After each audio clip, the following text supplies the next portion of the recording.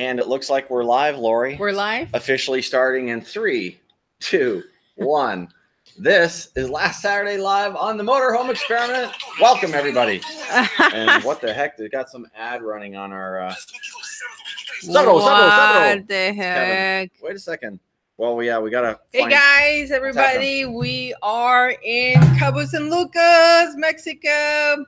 It's Yeah, actually uh it's called Los Cabos in the very south tip of the Baja Peninsula, like in very southern tip, and it's called Los Cabos, that's mean the Cape. So it's like because it's Cabo San Lucas, San Jose del Cabo, Cabo Pulmo, and there's even more cabos I cannot remember. So that's what called what it's called Los Cabos around here. Yeah, lots of cabos. Yes. So, I'm throw my glasses on here. Can uh, can everybody hear us? I was trying It's to It's working. Hi, guys from Wilderness Lakes. Moving the mark. They're on. Hey, hey, hey, hey. Cool. I think uh, sounds like maybe everybody can hear us. Nice. Well, it's actually about sunset. If I actually move this way, you can see the sun is right Yeah, in my face. So right it's about face. sunset. And I just want to share it's like uh just random stuff. It's like you know how if you have come to Mexico, you know there is vendors on the beach all the time. And actually I have new sunglasses thanks to them. I have some Ray Ban, like literally Ray Bun. Ray Bun. Yeah, Like, have Ray Bun sunglasses. They're not Ray Bans. I actually got a new set funny. too It's pretty funny. I needed a new set and they brought them right to you. That's my kind of shopping, really. I really thought I wouldn't like that kind of thing. They I come know. bug you on the beach, but it was kind of cool. I needed sunglasses. They walked right by, oh. throw Oh. you a cheap pair of Croakleys or whatever the heck they were. Yeah, you have like the yeah different look. Yeah, I it's a can't C what that it looks kind of like the Oakley O, but not quite. so we'll call them Croakleys. And then we know. made a deal for two, so I Yeah. got my my Ray Bans, Ray my. Ray Buns. Yeah. Ray Buns. so yes, welcome from sunny southern Baja, Mexico. Some of you guys might not. There's whales jump. This is going to be distracting. Oh, it's there's just this, the bay is you have right to show here, them the view a little bit. and there's there's whales literally blowholes outside of our balcony, and but you they're not have gonna to be show them see. the view. Let me show you guys the view. Just not take them to the sun, so they are gonna. It's gonna shine in your eyes. But let's try And to do it. to Tell me to put this back. Okay, right there. It's so bright, it's hard to see it like on the screen, but all that super bright area is all ocean. You can see a little bit of the ocean a little bit there. And then right there's a whale. Can you see it? Hopefully everybody saw that. No, it's Not too hard. No, it's too hard to see it on screen. Oh, okay. well, hopefully somebody saw that. I don't know. Let me know when we're back in uh, in spot again. A little bit to that side. There you go. All right, cool. Very good. Hey guys, now I'm trying to kind of like read. Get caught up a little bit. Uh, just so that you guys know, Kevin and Laura and Tom and Faye are still up in Las Barrilas. We are here in Cabo San Lucas, and you can see this beautiful room that we're in. We would not normally stay in a room like this. So, this episode is brought to you by Richard and Cheryl Hampton because this is Richard and Cheryl's timeshare unit here in Yes. Cabo, and they loaned it to us for a week so that uh, Lori's family could fly in from to the do a family vacation. Yeah. Just basically to do a family vacation. Actually, the Hamptons are about an hour from here, an hour and a Yes. half. But they were not gonna use their uh, timeshare this year because they have their puppies with us, and their puppies they bark a lot. They're schnauzers, so if you have schnauzers, you know they bark a lot, so they can use their timeshare. So they actually, uh, yeah, let us use it, and it has been like a one week vacation, isn't it? Yeah. I know most people think that we live in a vac- permanent vacation, but it's not quite true. Once kind of sort of, but not really. We just our house moves our house different moves places. we still have to work and we still have to do laundry and we still have to do all that stuff so the, this was a little bit of a break of all that Yeah. and having the family make it a lot better Yeah. But so even this, oh, by the way, the- even this cherry Dr. Pepper, which I've never had cherry Dr. Pepper before, also brought to you by the Hamptons. So thank you so much, Richard and Cheryl. i'm feeling like we owe them a lot We owe them a lot. Yes. Don't But- did we say that on don't say that on video. sorry Damn it. and also like i'm not drinking wine tonight i'm actually drinking a beer this is a mexican mexican beer it's like uh negra modelo Oh yeah. you can see there but it's not open babe so i'll Well, let you do that Is this uh this isn't a twist off? I don't it? think it's a twist up. No, no, no, no, no, no, no, no, no, no. Don't do I that. couldn't do that if I tried. Like my dad was. Where's your able- iPhone? I can use that. No. No. My dad used to be able to do that, and he messed up his teeth because Well, of course that. you're gonna mess up He your he teeth. had to go to the dentist because of that. So it's like no of that. So we're so excited we're here. As you can see, no sleeves, no sweater, no nothing. It's like we have been feeling like this has been summer for us. So it's just so nice to be in a warm place. Definitely Paul and I we're like we love our warm weather and we love our beach. So this has been amazing for that. There it is. Oh, I thought that was a bottle opener. Oh no, Yeah, it it is. is. Okay, cool. All right. Well, I guess I could just leave this. Yeah. Uh, this, there's soup on the uh, there's soup on the On the stove. Yeah. stove. Is that good? That's good. okay? I have my timer. If so you see worry. a fire building behind us, just know. yell out, wave your hands and stuff. Okay, first I'm gonna have Who to we got off- online? We got. I a have lot. I know Kevin and them. I'm gonna take off my glasses because I need to read, but it's gonna be hard because I have like sun in front of me. But it's like uh, from Tom and Anna. Met you just outside of Algodones. How do you choose Mexico car insurance? How do you know it's gonna pay out if needed?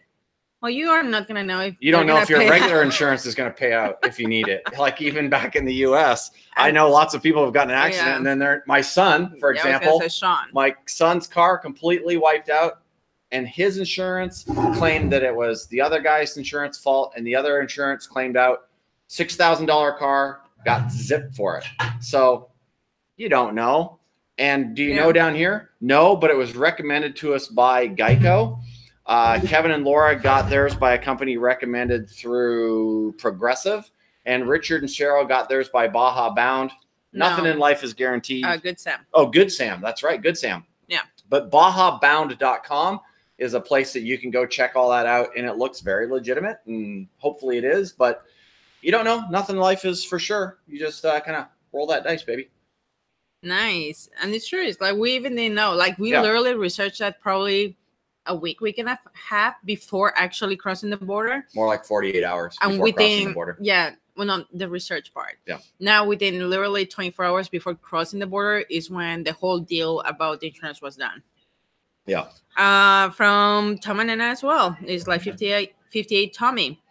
Uh, it says, "How are you filtering fresh water? Are you are you filling your tanks for just showers?"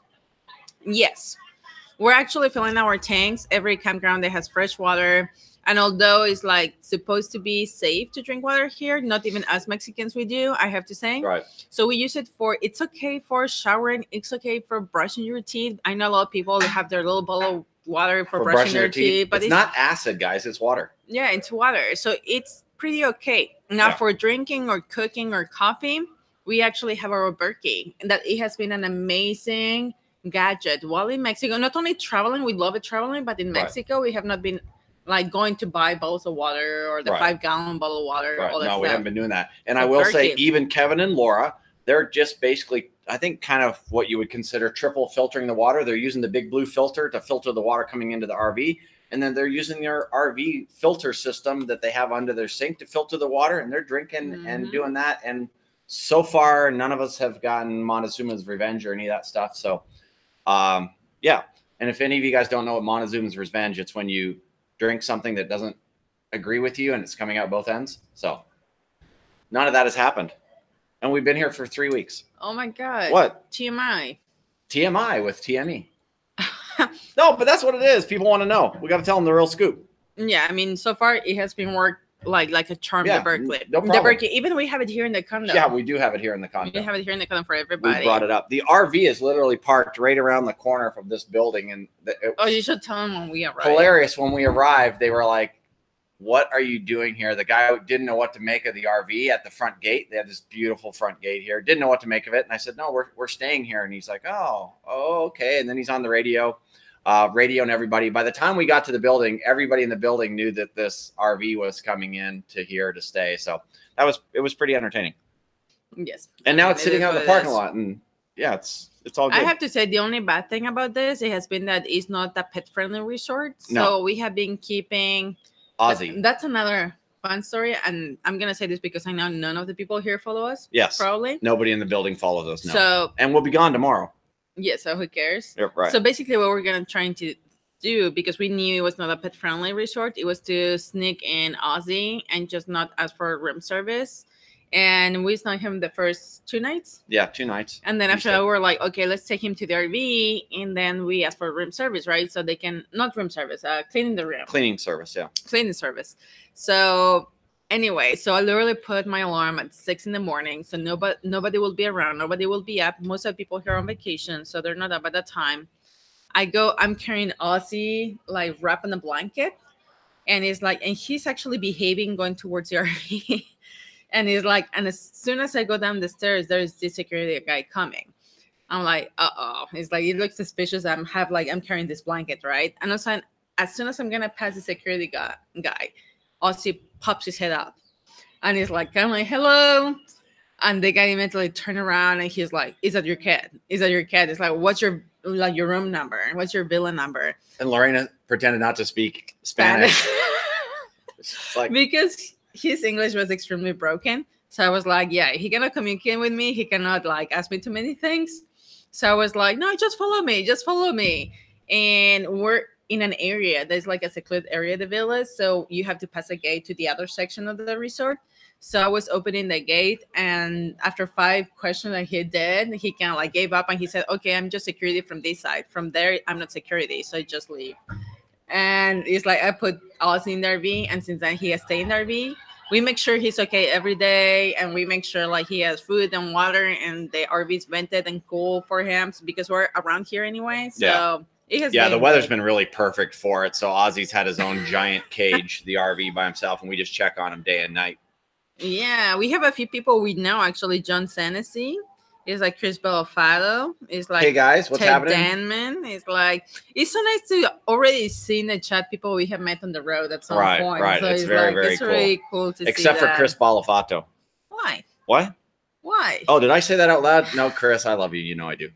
Um, no, it's great having people on that we've met on the road. I know, I love it. So I'm gonna remember if you have any questions, put them in all caps so I can catch them pretty quick. It's like otherwise I'm gonna scroll through it because we're trying to keep up with the chat, and sometimes it's very hard to keep up with the chat. So just as a very friendly reminder and nice to me, please put your questions in caps, in all caps. Capitals for questions. Yeah. And then make sure you turn that off after you ask your question so you're not just yelling in that. Kevin Miller, we're Yo, yo, we're, yo, Miller. we're on the ocean eating guacamole and drinking margaritas and limonada. awesome. Margaritas, wow, I'm surprised. Very cool. They are in Las Barillas right now, and it's beautiful up there. We're gonna actually wind up going back up there. I know. I mean, we're having a hard time right now living in this area because so we see everybody. And I'm sorry if you're one of those. Is like one of those people. Is like I see like some of you are like in very cold weather, and we see that on pictures. We're like, yeah, we're not ready for that. No, not so, quite. Not quite ready for that. like we're staying around here. and we're going to get in we'll talk a little bit about about mexico and especially baja mexico in a little bit after we're done asking some questions so if you have questions about mexico then uh, especially baja because we don't really we've never rv'd over on the other side but questions about baja please feel free to ask we know that the biggest question let me address that right now the biggest question is safety and my response to that is that is just unfounded. There are parts all over the United States that are not very safe to go to, but nobody questions that. If we were to go to Chicago or Baltimore or Baltimore, Memphis, Memphis, uh, Detroit, New Orleans, nobody says, "Oh, you shouldn't visit America because we live there." But because there's so much uh, information about stuff going on in Mexico, here's the thing: violence sells, guys. Nobody's reporting that thousands of airplanes take off every single day. Nobody goes out today. An airplane took off. There's a second. There's a fourth. There's a tenth. There's a one thousandth airplane took off today. But one crashes news is all over that. And it's a little bit like that in Mexico. Not saying Mexico doesn't have its issues, and Lorena will tell you that. And somebody Mhm. mentioned that as a as a Mexican citizen. What do you have to say? And we'll get into that in a second Mhm. because Okay. people want to hear your your take on My that as well. And I think that's important. Yes. But my take as an outsider, I was terrified to come here that when we 1st met Mhm. terrified to come here. But in the 12 years we've been coming here, nothing has happened. So or seen anything. or or have I seen anything? Yeah, there's military checkpoints where guys in machine guns get in your coach. So what? It's just a checkpoint. They just get in to make sure that we're not bringing guns in from the United States because believe it or not, folks, most of the guns that are here in Mexico, they came from the United States. So they're trying to prevent any more from coming in here. And that, that's it. There really hasn't been anything that has been scary at all. Not at all. So again, that's my take. The news is going to report the bad stuff. The news very rarely reports the good stuff. We have had a phenomenal experience here. Richard and Cheryl Hampton. Richard was very very hesitant about coming down here at first. They just they booked another month in Las uh, Las, Las Barillas because it was so amazing and they had such a great time. So that's my take on it. I I just think that most of the things said about Mexico are unfounded, just not and just not necessarily not untrue, but well, some of them are untrue because they make it seem like oh my god it's like it's like war zone like literally i have heard right, that like it's right. a war zone right. like it's worse in afghanistan and all this and paul like going through his research because we get start getting all these comments it's like okay i'm gonna research more behind it like what's going on and paul realizes like there's so many tourist areas that are like twice as dangerous as Mexico, but they don't have even a red flag or anything. Right. Like Bahamas being one of them. Bahamas is horrific for tourists. Like they literally target tourists there. So if you're off on a Bahamas cruise and you're going to Nassau, be careful because in Nassau they actually target tourists and rob them at gunpoint. Yeah. That doesn't happen down here. They don't want to bother the tourists. Violence down here is cartel stuff. It's drug related. If you're going to buy drugs, if you're going to try to sell drugs down here, you're definitely going to run into an issue because if they catch you on their turf doing their thing, you're it's going to be ugly. So don't do that. But Bahamas, Jamaica, places like that, nobody mentions that, and they are more dangerous for tourists than now with that being said i will rather try super dangerous don't come here at all right don't will, come here you will take all right. our rv spots so.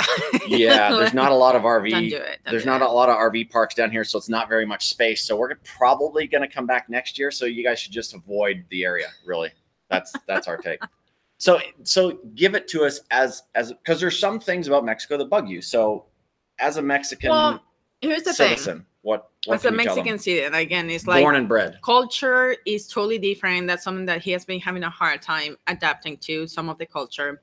Uh, like my sister's boyfriend just well, new fiance. My sister just got engaged. Yes, announcing. Did. It's like she they got engaged here in Cabo, but uh, her fiance is from Hungary, and he mentions a lot of the same stuff that Paul does, and he notices and like the traffic laws, like it's like the stop Ooh. The stop signs are just like a suggestion. Stop signs, red lights are just kind of literally slow down and keep going, yeah. and that's about it.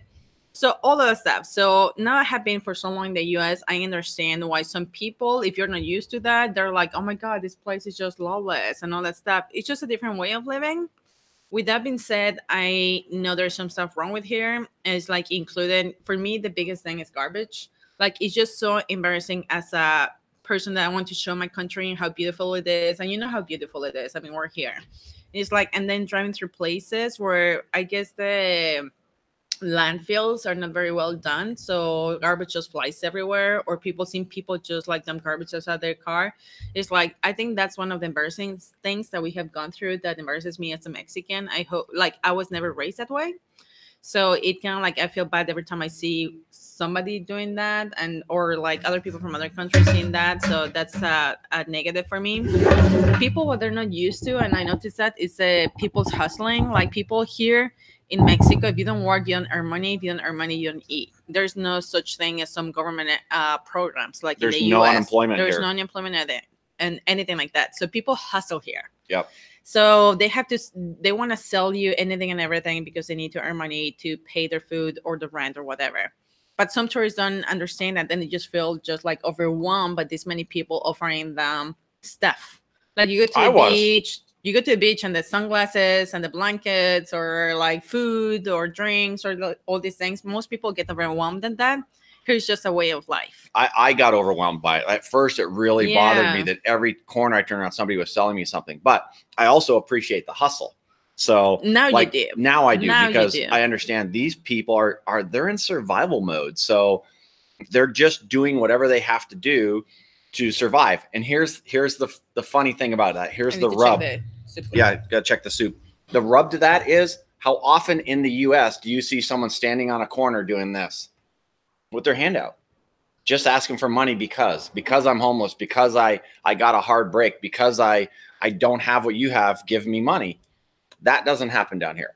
You do not see somebody on a street corner here with a sign saying, I, I need you to donate to my family. Here it's, I'm selling you oranges. I'm performing on the street corners. You'll see guys juggling fire on the street corners.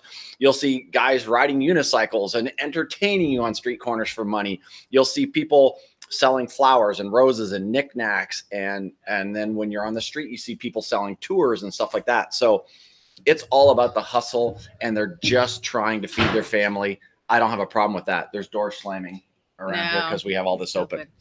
Yeah, I went for a sweater because it's starting to get chilly. Just before the the light goes out, you should now show them the ocean. Now that there is no sun, Try to probably show them the people. ocean again. Yeah, All right. I think you guys can see it better. Some people that came late, where are we? We are in Cabo San Lucas right now, We're about to show you the view from our balcony. Let me know if that's right there. can they see it? Yeah, Down over in here, that area over there, that is actually Cabo San Lucas Bay. That's Land's End. Yeah, That's Land's End. That's Land's End right there. That's where the Pacific meets the Sierra Cortez. and right now you see all the boats there for the sunset. It's funny. Yeah, they're all on the sunset. So the opposite side of that little mountain right there at the end, that's the Pacific. This side of it is, and all along in front of us is the Sea of Cortez. This is a little bit of the resort down there. That's the uh, the pool in the back. This is the rest of the resort over on this side, over here. So hopefully they could see that. Where are we? Back in the Lori? Are we back where it needs to be? Yeah, good. All right. So somebody said it's like, wow, I thought you could only fly to Cabo San Lucas. It's like you should talk about the road a little bit. Uh, flying to Cabo San Lucas is definitely the easiest way to get down here. there are two roads until the halfway point in Cabo. You have, I'm going to try to do this exact opposite. Let me see. Well, I can't see where my hands are here. But, anyways, uh, from you guys looking at us, the East Coast, let's say halfway down is Mexico 5. And by halfway down, I mean a quarter of the way down is an actual road. And the other quarter of the way down is a goat path. that meets up with one that starts, and that starts at Mexicali El Centro, which is um, a couple hundred miles, I think, east of San Diego. You can also start in San Diego, and there's a few other ports along the way. We won't get into all that, but in San Diego, California's Pacific Coast Highway, Highway 1, continues down into Baja California, and it's number one all the way along the west side of Cabo and it comes all the way down into the bottom or west side of sorry west side of uh, baja california and it comes all the way down into baja uh, sur which is south baja and down into cabo san lucas. So yeah you can drive highway number one the pacific coast highway literally all the way down here the road is extremely narrow i actually turned my mirrors in actually the driver's mirror i turned it in a little bit because the road is so narrow in spots. It's a butt clencher. Like every time a truck goes by the other way, you're like just hoping that you don't hit. And Mhm. It's not like you have anywhere to go because it's literally the white line and then the road disappears. And most of it is if you were to drop off that right hand side of the road, you're in a world of hurt. So it's an extremely narrow road. Uh, pretty decent condition for the most part. There's a couple construction areas uh, so be it. I mean, construction happens. So there is a couple really, really rough spots on one coming down, but for the most part, not too bad of a road. Now, again, we say don't travel that road at night. Here's the reason why it's not a safety thing. Uh-huh. You could drive that road at night in a car. The problem is there are cattle, it's open range. So there are cattle wandering around all over the place and they eat right at the edge of the road because for some reason the grass grows right along the edge of the road and they can wander up onto the road. So if you're driving at night, you got to be very, very cautious of cattle or or wildlife, goats and things like that that happen to be wandering around. There's no fences for them; they just kind of wander. So uh, because of how narrow they are and the cattle, we would say don't don't do it at night. It's just just not worth running into it and ruining your coach. It's just like they really take like free range cows to a whole new meaning. Whole new level, yes. It's like it's like free range, literally, like on the highway, Mhm. free range. It's like everybody's complaining about the weather. I'm sorry. Sorry, the weather here is pretty awesome. Like see- it's cool at night. Like you see Lori's in a sweater at night. It's a little Yes, cool, it's but it's probably mid 60s. well, I'm, we're just coming from the pool, so I still have the wet bathing oh, suit. like just slap him in the face. So, oh. Sorry, sorry. We're just coming from the Freezing pool. cold pool. Oh, It was cool. so Yeah, horrible. horrible. Yeah. Those pina coladas. Awful. Yeah, the pina coladas. awful. Mm. Uh, but Chuck. Chuck is in the room and the Snowdens are in the room. Oh, All hey of them guys. said they're freezing. Some of our Quartzsite peeps. Woo, woo, woo, so it's like it, that's amazing. Like Yeah. I said, the fact I- that everybody I will say, Chuck and uh, Randy and Debbie, you guys will be absolutely ecstatic that you didn't drive down that Highway 5 with us because, yeah, you would have beat up your coach a little bit. The only thing that we, the only thing that we can see wrong is we lost that cabinet door, which, hey, our old And coach, that could happen it. anywhere. No, we didn't We lose didn't it. It just fell it. off. and but then wait that video, I don't know why he didn't turn on the lights. It's not like the lights were totally I don't know why I didn't either. Dramatic effect. Do, do, do, do. So I'm going to bust into some pistachios here. Oh, somebody said about like Uh, your does your US car insurance get put on hold while you're in Mexico? Unfortunately, not. Uh, I, you know what? You Well, probably know. could. We don't know. I was say, we probably could have said, "Hey, we're not going to be traveling here. Can you just kill it for And you never asked. four months?" And I never asked yeah. So- because there was literally a, a you know last minute thing for okay, us. that means we're overpaying then. so we're probably overpaying. You could probably put because it on hold. I know Tom and Faith that they're from Canada. I can remember their their insurance. They actually put on hold, like the one in Canada or Mm-hmm. the US, and they start charging over here. So yeah, they're having those savings on one You know side what? and charging over here. we should call them tomorrow and see if we can do that. Say, hey, we've been out of the country. We're not using your insurance. Thank you for being, you know, looking out for us. Somebody said Chris and Brenda Mills. Um, What? have you had a chance to see one like they're talking about the rooster fish? Uh, have you seen one come towards the shore with their fins popping above the water? No, we have not. A rooster fish. Maybe we did see those the other day because we thought they were manta rays. I don't know what they are. I mean, I don't know. Now we're gonna have to Google it. It was different kind of manta rays, like different kind of rays. Like Turtle has a, the right name, but I don't know what's the right name. Mobulas. Mobulas, yeah. Mobula rays. So Mike McKinney, would you please say modelo again? what to learn the right pronunciation? Modelo. Modello. No, not like that. That sounded Italian. Modello. She says it better. Okay, say it again. Like I asked, like this, for example, is a negra modelo. That's a black Modelo. Yes. Yes. Frankie is. How is the food there? Oh my goodness, it's horrible. Another reason why you shouldn't come here, guys. Don't come here because the food. it is insane. Like Ah, it's it's so so good. good. It's just like it's just fresh food, like literally fresh food. They they cook with fresh ingredients, so it just makes the food taste totally different and just simple ingredients. It's not even like hard to do some of these. Yeah, a lot of these little restaurants, I don't know if they, you know, it's because they can't afford to stock up or they don't have huge freezers or what it is, but most of them literally buy their produce and stuff fresh almost every single day. So you're going in and buying stuff that was purchased usually that day, maybe even the day before at the most. It is just it is just awesome. We have not run into a what I would consider a bad meal yet. Mm, a simple meal, like some stuff. Well, there's some simple stuff. We're simple, like, vegetarians, no, so- no, like crazy stuff happening, but it's like a lot of stuff so good. But you so said the good. shrimp and things were good. You, you've been doing some yeah, shrimp. Yeah, I mean, I've been doing some seafood while down here, and it has been amazing. Like a lot of vegetarian stuff, it's amazing. So it's like that's one of the things I really miss about my country is Mm. the food. Because even in US, when you see restaurants says authentic Mexican food, it's just like kind of like saying like RV resort. Like the word resort is just thrown so much. The same with authentic Mexican food. It's just Why is that so though? much. Because you think that it'd be authentic if a Mexican started the restaurant.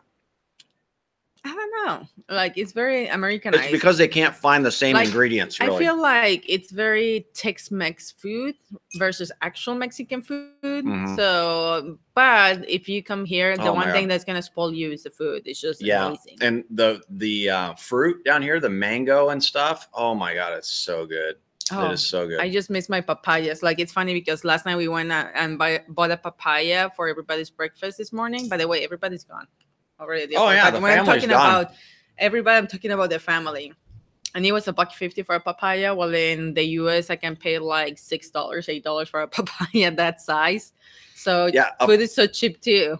uh, Produce is so cheap. a papaya that's like We were six of us. 24 inches all. long and it's just a buck and a half what are what are um I'm not sure if that was twenty four inches. Yeah well this this is that's six inches so i figure that's about 24 inches and then um oh my god! how much are uh how much are um the little green things avocados how much are avocados they're cheap too right Oh, it's like forty pesos. It's about two dollars a kilo. yeah So it's pretty cheap It's so versus cheap. what a dollar a kilo. Oh. It's like Southwest Joy. Hello from New Jersey. We just pick up our pleasure way class B, like sort, and are making plans to head out on the road. Hope to meet you guys someday. Hopefully, it's like hope to meet you as well fingers. congrats on the new coach that's awesome Yeah, Wade Burney. How is it now that you're full time YouTuber? I don't know. um that's it's an scary really that's a question for him. Yeah, it's really scary. What what do you mean it's a question for me? You're a full-time YouTuber too. I'm a full time trader now. Yeah, you're a full-time trader. How's that going? Not very good in Mexico. There's like we have been having a hard time with Self-service has been sketchy. service, Wi-Fi, all that stuff. It's just like bare minimum everywhere. It Yeah. has been like I think the first time was Loreto and then La Loreto was amazing. La Paz. Here, T-Mobile Yeah. rocks. Like we're we're streaming on T-Mobile tonight. The Wi-Fi in the room is about four four to five five meg up and down, if you know what that means. But uh, I I was wasn't sure if we could stream on that, so I threw on the the T-Mobile, and T-Mobile is 20, 20 meg down, and I think eight or ten up. good. It was it was awesome. So but a full-time YouTuber is Yep. it's scary. We don't know how this is going to work out yet. Uh, I'm not a spring chicken who does um, prank videos, so we don't have a huge following, and that doesn't seem to be uh, climbing in as fast as we would like. But I need to post more as well. Uh, family's gone, and so again, I've been saying this for what a year. Oh yeah, I'm going to post more. But uh, I'm not saying anything. I'm staying away from this. right, right. so we've got some stuff in the can. We are going to be doing more nosy neighbors. We have some of that stuff uh, I'm ready to go. about that. How well received, by the way, was Noisy Neighbors. I Yeah. mean, it's a segment that we thought we will put out there because that's what how we feel about the nosiness out of Yeah. it. And everybody is like, "Yeah, we want to see more. We want to see other coaches." And by the way, somebody says, "Oh, you're just showing small ones or your class A's." It's always not- gonna be people It's bitching. not the true. It's No. like we're gonna show a little bit of everything, even though something that we not necessarily will buy for ourselves. We still want to show it because it might fit your needs. I mean, our needs are not your needs, so we want Right. to show it all. with that being said, the next couple are going to be class A's, but we are going to we are going to try and hunt down some some trailers and some towables and some. No, we're not going to do tents, but towables and things like that. I'm yeah, the tents are. You know what's inside of a tent? Nothing. There's nothing inside of a tent. Yeah, there is. It's There's called, a air it's mattress. called roughing it. Roughing There- it for you is is Motel it. Six. It's like, oh, please don't blame me about that. It's like Dead Cam Rocks. It's called Spanish improving in Mexico. See, That's the only thing you know how to say. no, See, no. Mi esposa es mexicana, pero estoy aprendiendo español. oh, that's so cute. Even though it was with a gringo accent, but Yeah. it was so cute. What room are you in, sir? Dos siete cero nueve. Right. yeah. Right. Actually, I have to say, my mom and my sisters were impressed with how much Spanish she's already speaking. Yeah. It's like he's like from even short sentences, but very well sentences. Pronunciation is pretty good. So it's Yeah. like they were pretty surprised about it. It's like What would you like for breakfast, sir? Quesadillas. No, that's not true. Quesadillas. I got it. Donald Santiago is diesel readily available where you are traveling at? I would really have to get Tom and Faye to answer that. Uh, yes, is the short answer, but they have an older coach, so they're not using the DEF fluid. And I don't know. I'm an old diesel guy. Like when I drove trucks, we didn't have DEF. I don't know what that even is. Um, but I know that a lot of the newer diesels require DEF. I Um, never saw that down here at all. I think it's not old school pay diesel. attention. We we really have not paid attention because I guess like there's like a, a certain year of uh, diesel pushers that is like if you're below that year, you're okay. If you're above that year, it's like you're not okay in Mexico. Not because it's not available, it's because it's hardly available. Right. But Right. again, it's not like we have been paying attention, but we're actually traveling with another with Tom and Faye that they have a diesel pusher and they haven't problem. had any problem, but that they have a 2001 Right. uh, Beaver It's, Monterey. it's an older older coach. It's another coach. now, yeah. if you can use DEF with older diesel, you're good to go. If you just, you're just going to have to stock up on DEF before you come down, and I don't know what that requires. I, I I haven't looked into that at all. But diesel as as a whole, if you've got an older coach, everywhere there's trucks up and down this this road, and you can buy it at every almost every gas station gas station that you can buy gas at. You can buy diesel, hmm so not a problem. I like this question. It's a funny question. Hi, Paul. How's retirement life treating you? That's from Jonas Hennessy. retirement. Yeah. Um, I'll let you know when I get there. I haven't retired yet.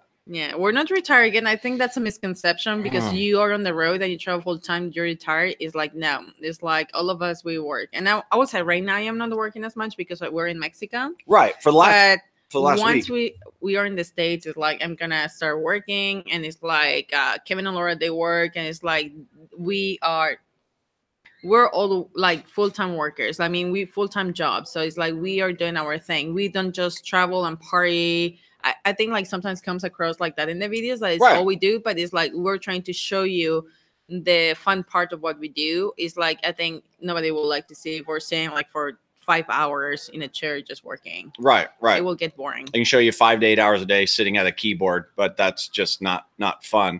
And there are days where, uh, like Lori's family, the first day that they were here, uh, maybe the first day and a half they were here, they went into Cabo San Lucas and went and explored, and I was here editing videos. Uh, So Mhm.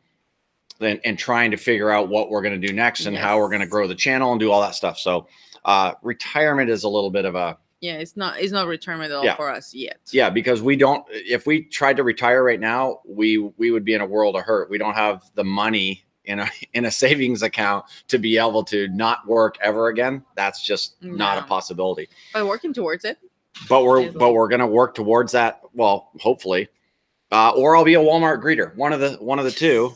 Uh, that's always an option. I have the talent for that. Welcome to walmart. Here's a cart. See? I could do that. Oh my goodness. Okay. Um. oh wait. Uh, bienvenido a walmart. I could do it in cabo san lucas.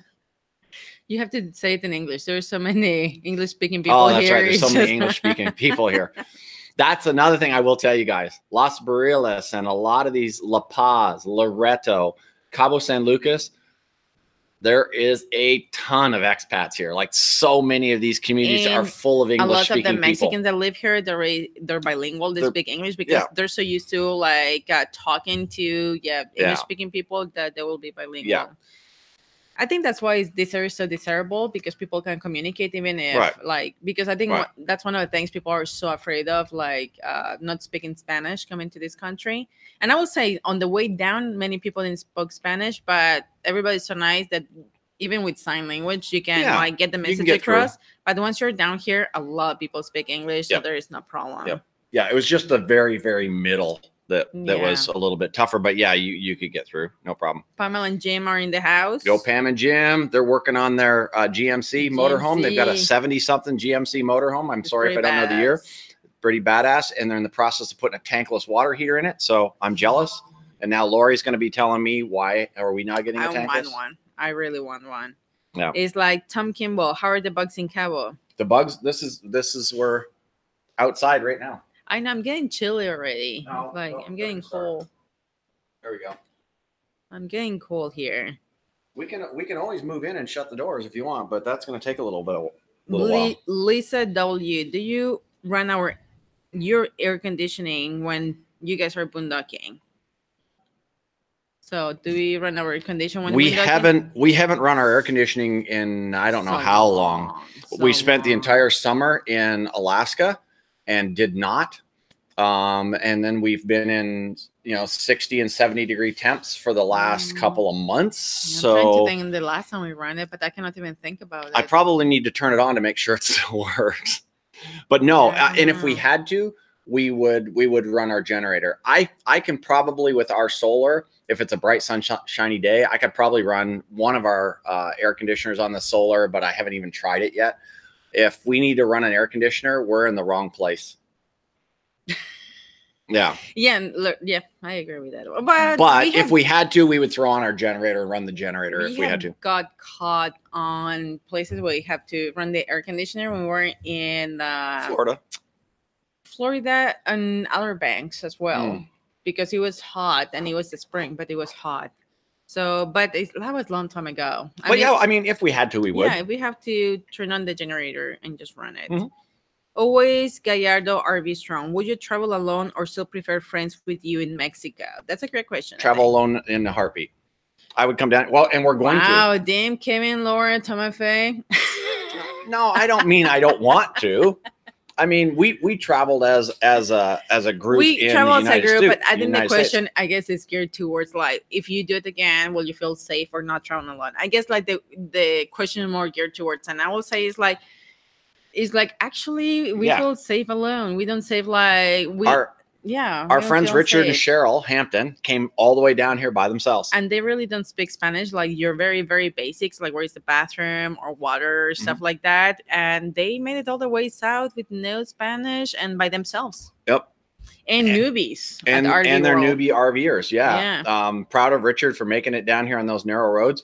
And on the way up, the group is going to get broken up a little bit on the way up, and we're probably because we're going to hold back a little bit. We're probably going to be by ourselves on the way up for the most part.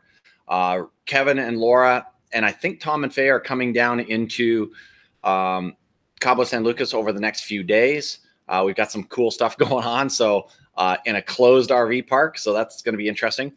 But um, they're coming down. Richard and Cheryl are continuing up to La Paz and then Loreto. We're going to catch up to everybody on the way up, but there's going to be bits and pieces where we're traveling alone. I would travel alone here in a heartbeat.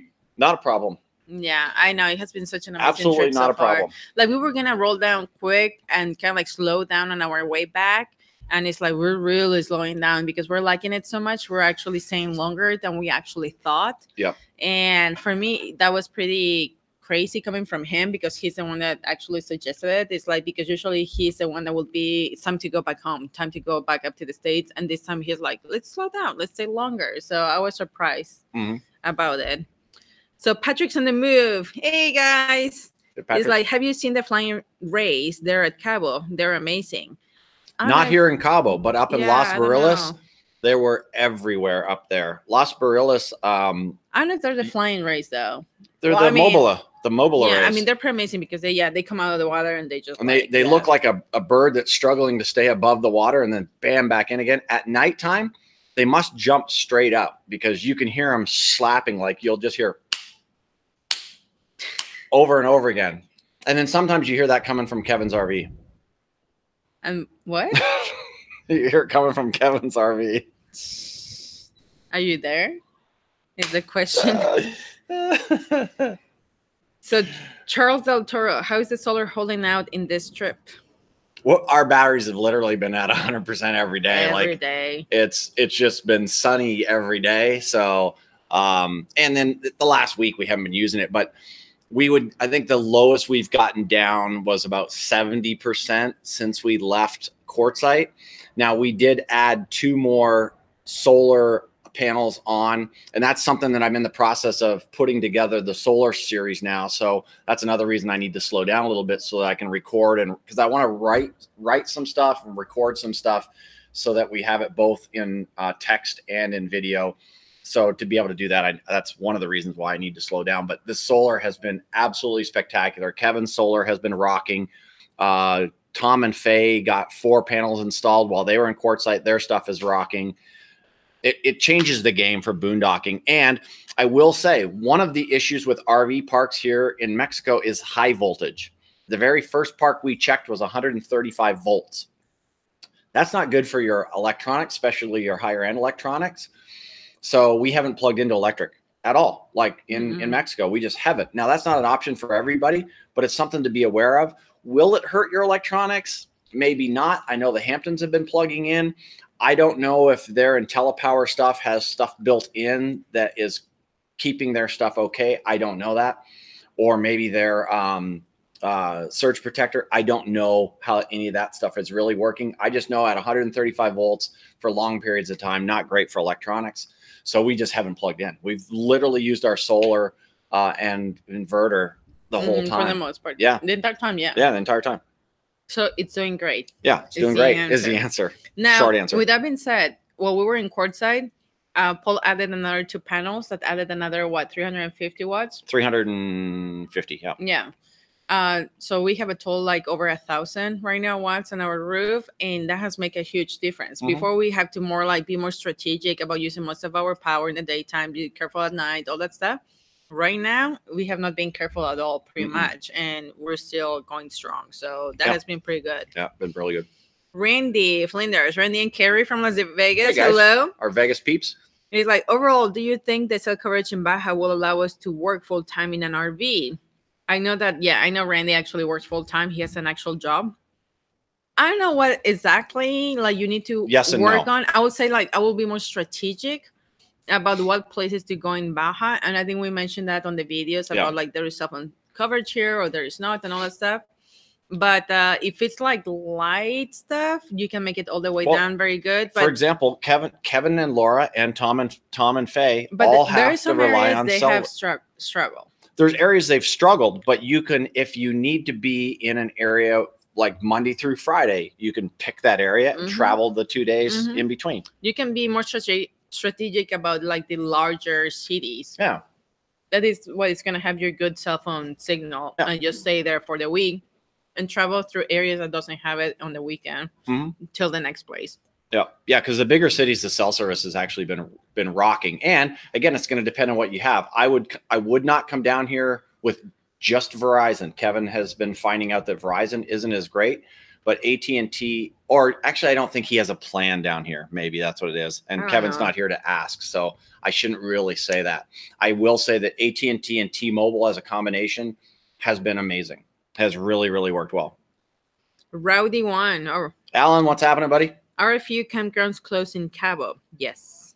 Uh, yes, and one of the ones that we're about to move into tomorrow is closed. But we talked to the owner today, and we're going down there, and uh, we're looking at that campground, and that's all I will say about that.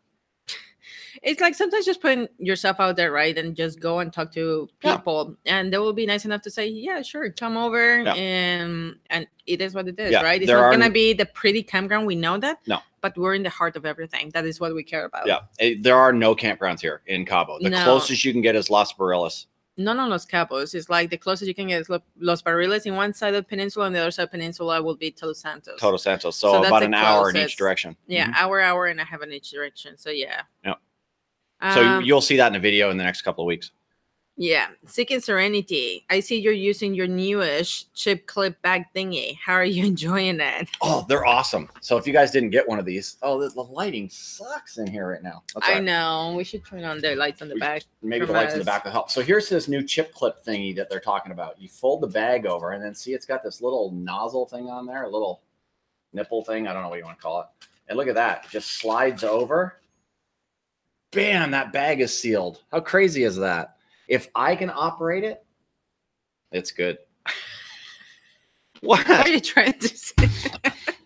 Available for 1995 on tme.com. No, um, and if you call in the next five minutes, Yeah. we double your offer. Um, oh, how about that? Did that work better? yeah, I mean the light is on. Yeah, but did that work better here? No, it didn't work any better. Um, yeah, we might have to turn on some lights even behind us, like right I here. don't know if that'll. I don't know if that'll make. Like there's the ones on the right. There you go. That? that work better? Oh yeah. At least, yeah, I think so. All right. Cool. Oh, now Oh, we have some light. now you can see the whole room and everything. Now you can see everything. Holy smokes! Let's keep this. Pamela Rogers, Pam. Seems like people are afraid to go to Alaska as they are Mexico. Thankful for you two to show the world a safe place if you have a half a brain. Not saying you only have a half brain. Well, I think You she was kind of, talking kind about of, uh, you. probably talking about me. I, I, I understand. I totally get that. Oh no. Mm. Mm. It's like no, but it's true. It's like I think that's one of the things we went on the road, and every time we're about to go somewhere, people tell us, "Oh, don't go there, Memphis, Y- don't go there." Memphis. It's like just so dangerous. It's like, "Oh, Mexico, don't go there." Mm. Alaska, oh yeah, don't go there. So it's like there's so many places we have been through that people tell us don't go there because they're afraid, and we go there. It's like a no big deal, Yeah, if you make all of your travel plans based on the news or other people's fears. or other people's fears, you'll never go anywhere. And you have a good point. Like at some point, it's like, oh yeah, uh, my cousin's friend something told me that this is this. It's like, well, that's not that statistic or not something based on fact. It's just somebody's opinion. Right. You know, Right. And I mean, again, you can look up some of the statistics. They're true here. But Mhm. overall, if you base your life on what you see in the news, you will be stuck in your home, never moving for the fear that something might happen. yeah, like- exactly. Anyway, You will never go yeah, anywhere. let's move this in a little bit, maybe, so people can see your see your smiling face better.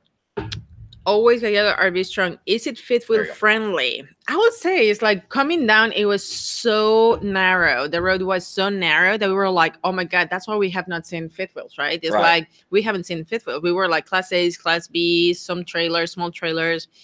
And as soon as we came like to the very south end, we start seeing a lot of fifth Yeah. wheels.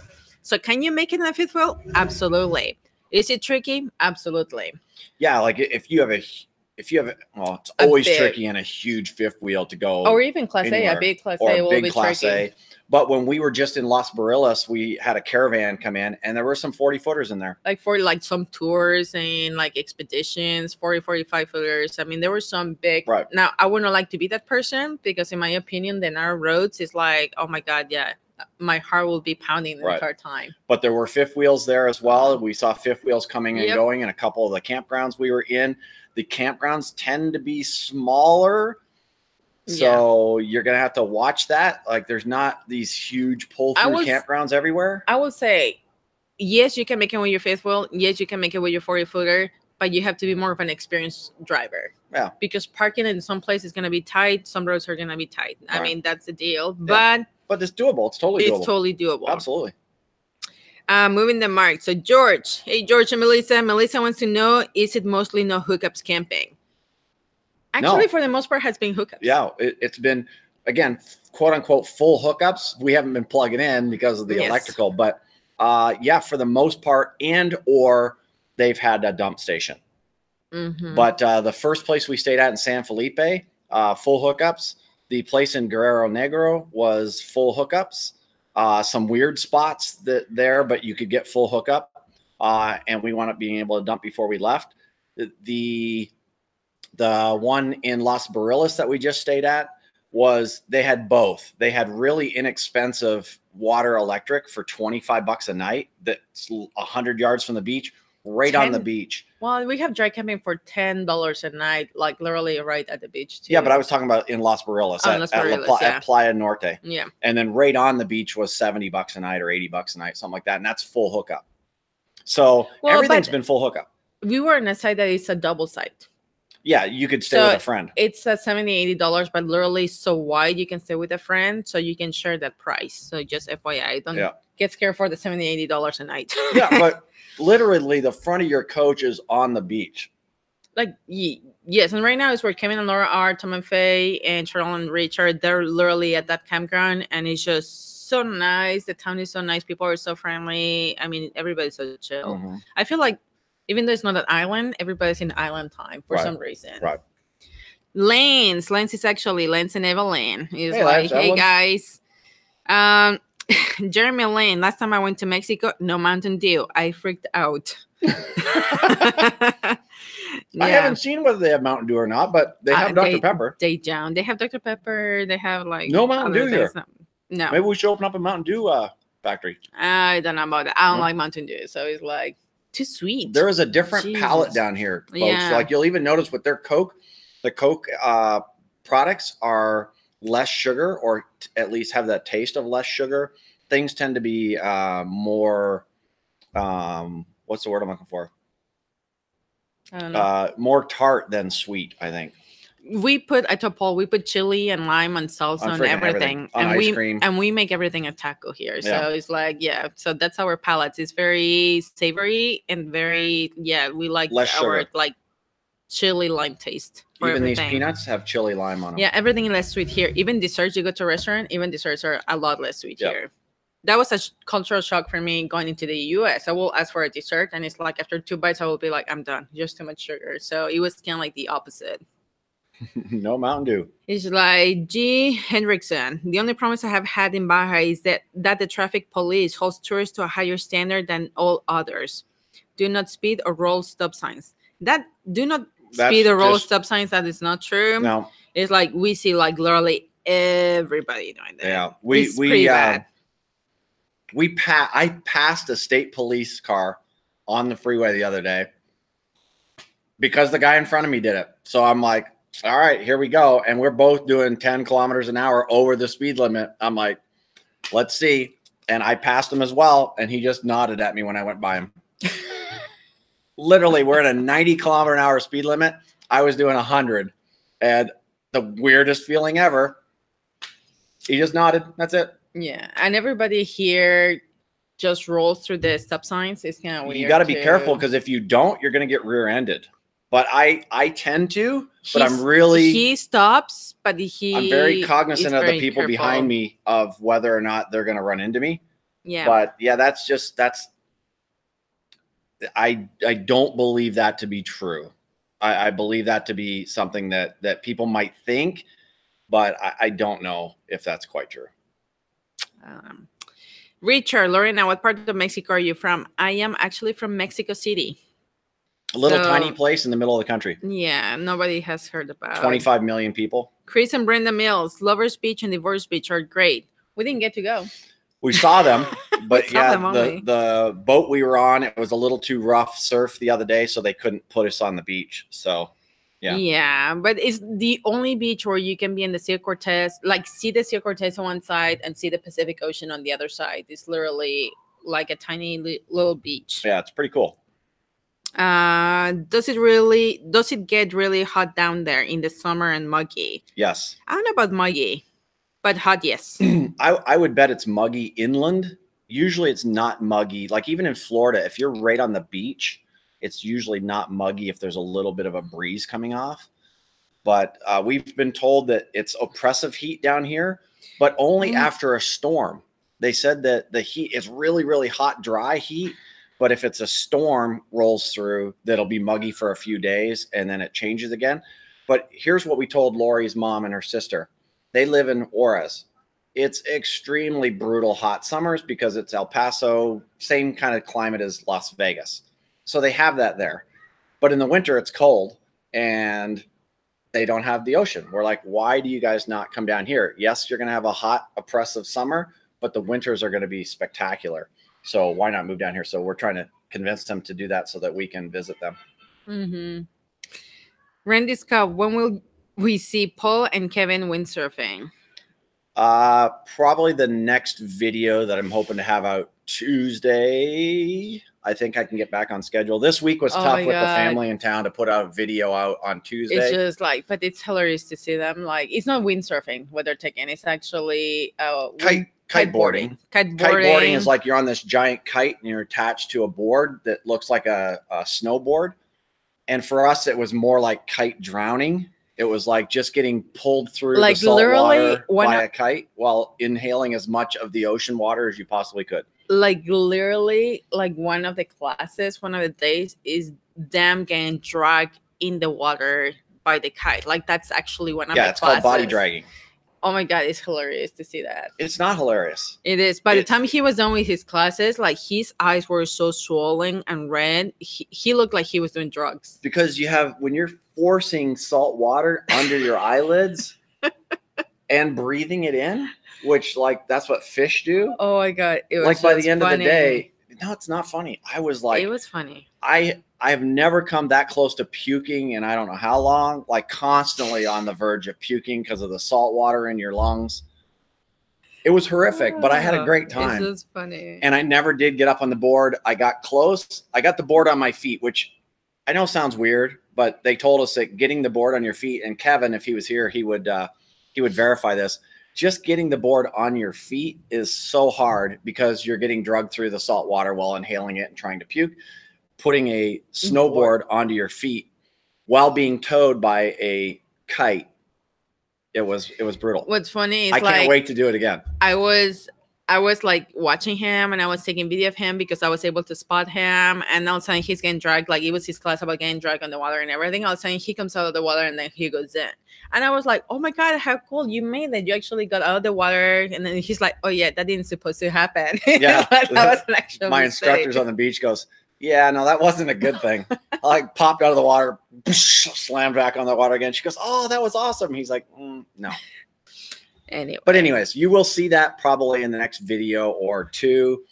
And because most of it was shot with GoPro, you don't get a chance to see a lot of it really up close. I'm going to try and zoom in as much as possible. it's gonna be blurry. So it might be a little bit grainy. because also with the GoPro, so the GoPro Yeah. is like high quality video. So yeah, it's. I wish I could have put the GoPro on my helmet, but both Kevin and I lost our sunglasses, which were our good sunglasses, because when you smash your face into the water and the the kite string hits you between the face like this, it kind of like makes your glasses fly off.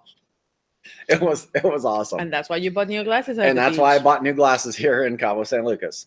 But I am telling you right now, it is so fun, and I am so hooked on it. Even though I haven't got up on a board yet, I'm watching kiteboarding videos 24 7 when I'm not editing and I'm not hanging out with their family. I'm waiting for them. I'm watching kiteboarding videos because it's just awesome. Okay, Chris and Brenda Mills, have you gone diving yet? It's like no, but I don't know if it's actually gonna happen unless we do discover because we are not certified. Yeah, we did Discover Scuba here before, which is like your Two first years ago. dive with a with an instructor, and it was absolutely amazing. It was and it's something that we've been meaning to do because we do want to get certified because it is a crazy world under the water, like crazy world. And Mhm. it's also one of our fears. Both of us are kind of terrified of the water. For me, I'm afraid of sharks or undercurrents pulling me, but it's like one of those fears is like I need to get over and just do it. And when I'm on top of the water, I'm fearful of what's below me. Uh, when I'm on a kite, I'm not going to be because I can go fast enough that they can't. Well, it's kind of like going to be trolling. It'll be like if there's sharks in the area and you're on a kite board, it's kind of like pulling a lure. Yeah, it's kind of like Yeah. what is it? Fly fishing? What's it? All right. I might I have to give up kiteboarding. That might No, not be a good idea. No, I'm not going to do that. It's like Brian, which way will you be going north? Five or one? Or that's that's a simple question. One. Yeah, we're taking Highway One straight up, buddy. It's There's like, no you going guys- back to Highway Five I was unless the Mexican government writes us a certified letter saying that they've completed five. That's never happening again. here's the thing. It's like I think that that's what the one thing I will say. You don't have to come down five. I Right. know, like for a lot of people, it's scary, and we could have avoided it. We could have gone again from San Felipe, gone all the way around to get into Ensenada and down, but that was like a lot of Yeah. miles going We'd around, already a lot of time. unknowingly. So at a point we were like him and Tom and Kevin, like the three brave ones, were like, we're toughing it out. We're going through there and all that stuff. So they toughened it out, Right. but we didn't have to go that way. Right. So it's not like it, that was like uh an optional thing. It was not like a that's the way to come down here. we had this we had people react the same way as they did with Alaska. They saw the Dempster Highway video. I'm never going to Alaska. Oh my god, I wouldn't put my coach through that. Don't don't go there. You can drive to Alaska on paved roads, with with the exception of a few construction areas, but just drive there. Same thing with five. I'm never going to Baja. We had people saying I would never do that with my coach. I'm not telling you that you should. I'm saying you should avoid five at all Mhm. costs. Come down one, but I think you should come to Mexico. And that's the other thing. None of these videos. no, you I- shouldn't come to Mexico. Oh, that's right. They shouldn't come to Mexico because there'll be no room for us. yes. We're not trying to convince any of you guys to come to Mexico. If you don't want to come here, we're not trying to. A man convinced against his will is of the pa- same opinion still, is how the saying goes. Yeah. So. We're not trying to convince you. We're just trying to let people know that there's a little bit of misinformation and some stuff going on that that really uh, doesn't do you a that does you a disservice when you sit at home and Yeah. get fearful of going somewhere because of stuff you see on the news or you heard from your cousin's friends, son's, nephew's uh, orthodontist. Now, Yes. because he needed braces. With and that being said, you need to you need to make sure you know your rights. You need to make sure, like when we were through one of the military points, the guy that was there, he was actually the boss, and he came into the coach, and we were outside the coach, and he's like, "No, somebody has to come with me so they can watch me opening the cabinet." So he was very upfront about it. So we're watching them, and I was talking to him, and he said, "You every checkpoint has like a little sign with a phone number, and if anything anything ever happens, you can always call that phone Yep. number, and somebody will help you." And he's and he told me they're pretty good about it. and that sign is in English and in Spanish. It says Yeah. if you if you felt disservice or you were in any way um, harassed, call this number. Right there on the sign, right Exactly. right there in English. So again, all of that stuff is people freak out. Like it's not something you're used to. I get it. You're out of your comfort zone, but man, in my opinion, you're missing stuff. And other people were like, why would you ever go out of the United States? There's so much to see here. I, I totally agree. There's a lot to see in the United States, but I never claimed that we wanted to just see the United States. I want to see the world. And there's some really Mhm. cool stuff. The United States is an amazing country. I love it to death, but there's some really cool stuff outside of it too that I want to experience. And a lot of it's me getting out of my comfort zone. Yeah, I mean, we all like we both like to travel to other places, see other cultures, eat different foods, and see what's about and all that stuff. We're not afraid of getting out, but then it's also nice to go back home, what we call home, Yeah. that is the U.S. So Yeah, that's be- also nice.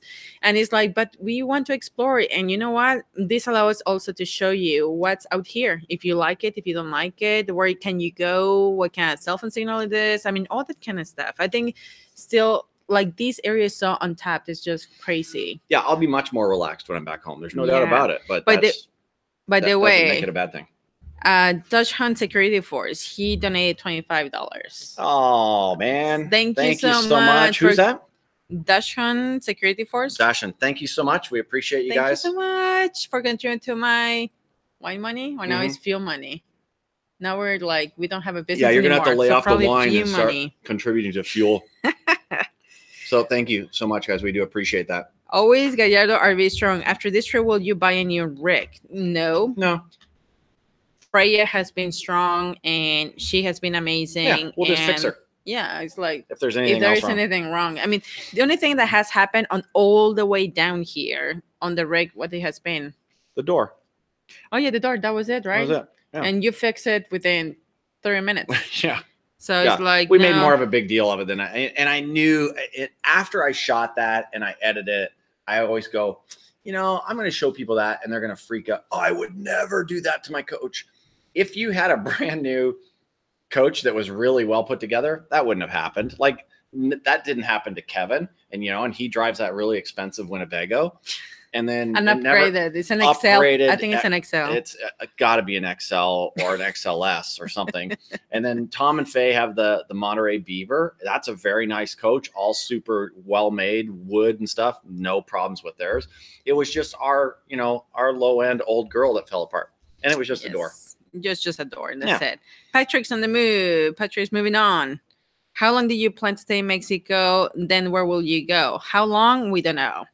Where will you go Yeah, next? We, don't know. We were gonna be back by April first. I don't. no, we were gonna, gonna be happen. back by first mid March, then late March. Now, like early April. right. it's like plans change as we are here enjoying our As- winter in the sun. as Tom and Faye will tell you as they're traveling with us, and of course Kevin and Laura would tell you as well that it's annoying traveling with us because we don't know our plan and we don't our plans change constantly. So yeah, I'm sure they would go. I would say I agree. that's the one thing why I think like Kevin, Laura, and us we can like fit traveling together is because they're very like Super flexible. flexible. Oh my god, like so so let's flexible. live today. Yeah, sure, let's live today. Let's all move on. Or it's like, yeah, it's like Kevin is like, I cannot work here. There's no cell phone signal. Let's going on to the next town. Let's Yeah. move on. So we're not like stuck into like all the plans we have made. Like our plans are flexible, but people that are so used to like having a plan or knowing where to go and all stuff, they get annoyed by us. Right. They're like, how come you don't know where you're gonna be tomorrow? Somebody had messaged me somewhere, and I don't know if it was on Facebook or something, asking about reservations down here and if they needed to have reservations to make the trip. We haven't had Mm, zero. We've had zero, no. and I think most of these places don't take reservations. most of these places are pretty good at first come first serve and the only one that we didn't we didn't have a good Oh, luck it was Loreto. Yeah, Loreto. We got there all the campgrounds there, there's three of them, they were all full. Right. So we went that boondocking that night. Yeah. So what? Yeah. Luckily, we found boondocking. Yeah. And it's like happy vibes. Did you need to get a separate health insurance plan in addition to vehicle insurance? I have not checked our health insurance traveling out of the country. I have to say, and we pro- haven't had health insurance. no, we have health insurance. We do now. This is the first year actually in a long time we have health insurance. And but coming here into Mexico, uh, private healthcare is a lot cheaper than the US. Mhm. So even if you don't have health insurance here, it's like if you something happened to happen, hopefully doesn't, but if something happened to happen, you go into a private hospital or private anything, they will take care of you and it's gonna be like a lot cheaper than the US. Yeah. Like a lot cheaper. And just to kind of like uh, let you know how cheap it is, when I have my gallbladder removed, in Mexico it was gonna be about probably six thousand pesos, no six thousand dollars, like actual dollars, six thousand dollars to remove it. In the US, the bill I got it was about sixty thousand dollars. So that tells you it's like you don't need to pay for health insurance to come here. Just come here if something happens to you, just pay your bill. That's it. Yeah. That was an owie, by the way. Oh yeah, that was an ouchie. That was that like was two years ago. Yeah. Something like Yeah. I haven't had health insurance for 15 years. I just got it this year for the first time. Yeah.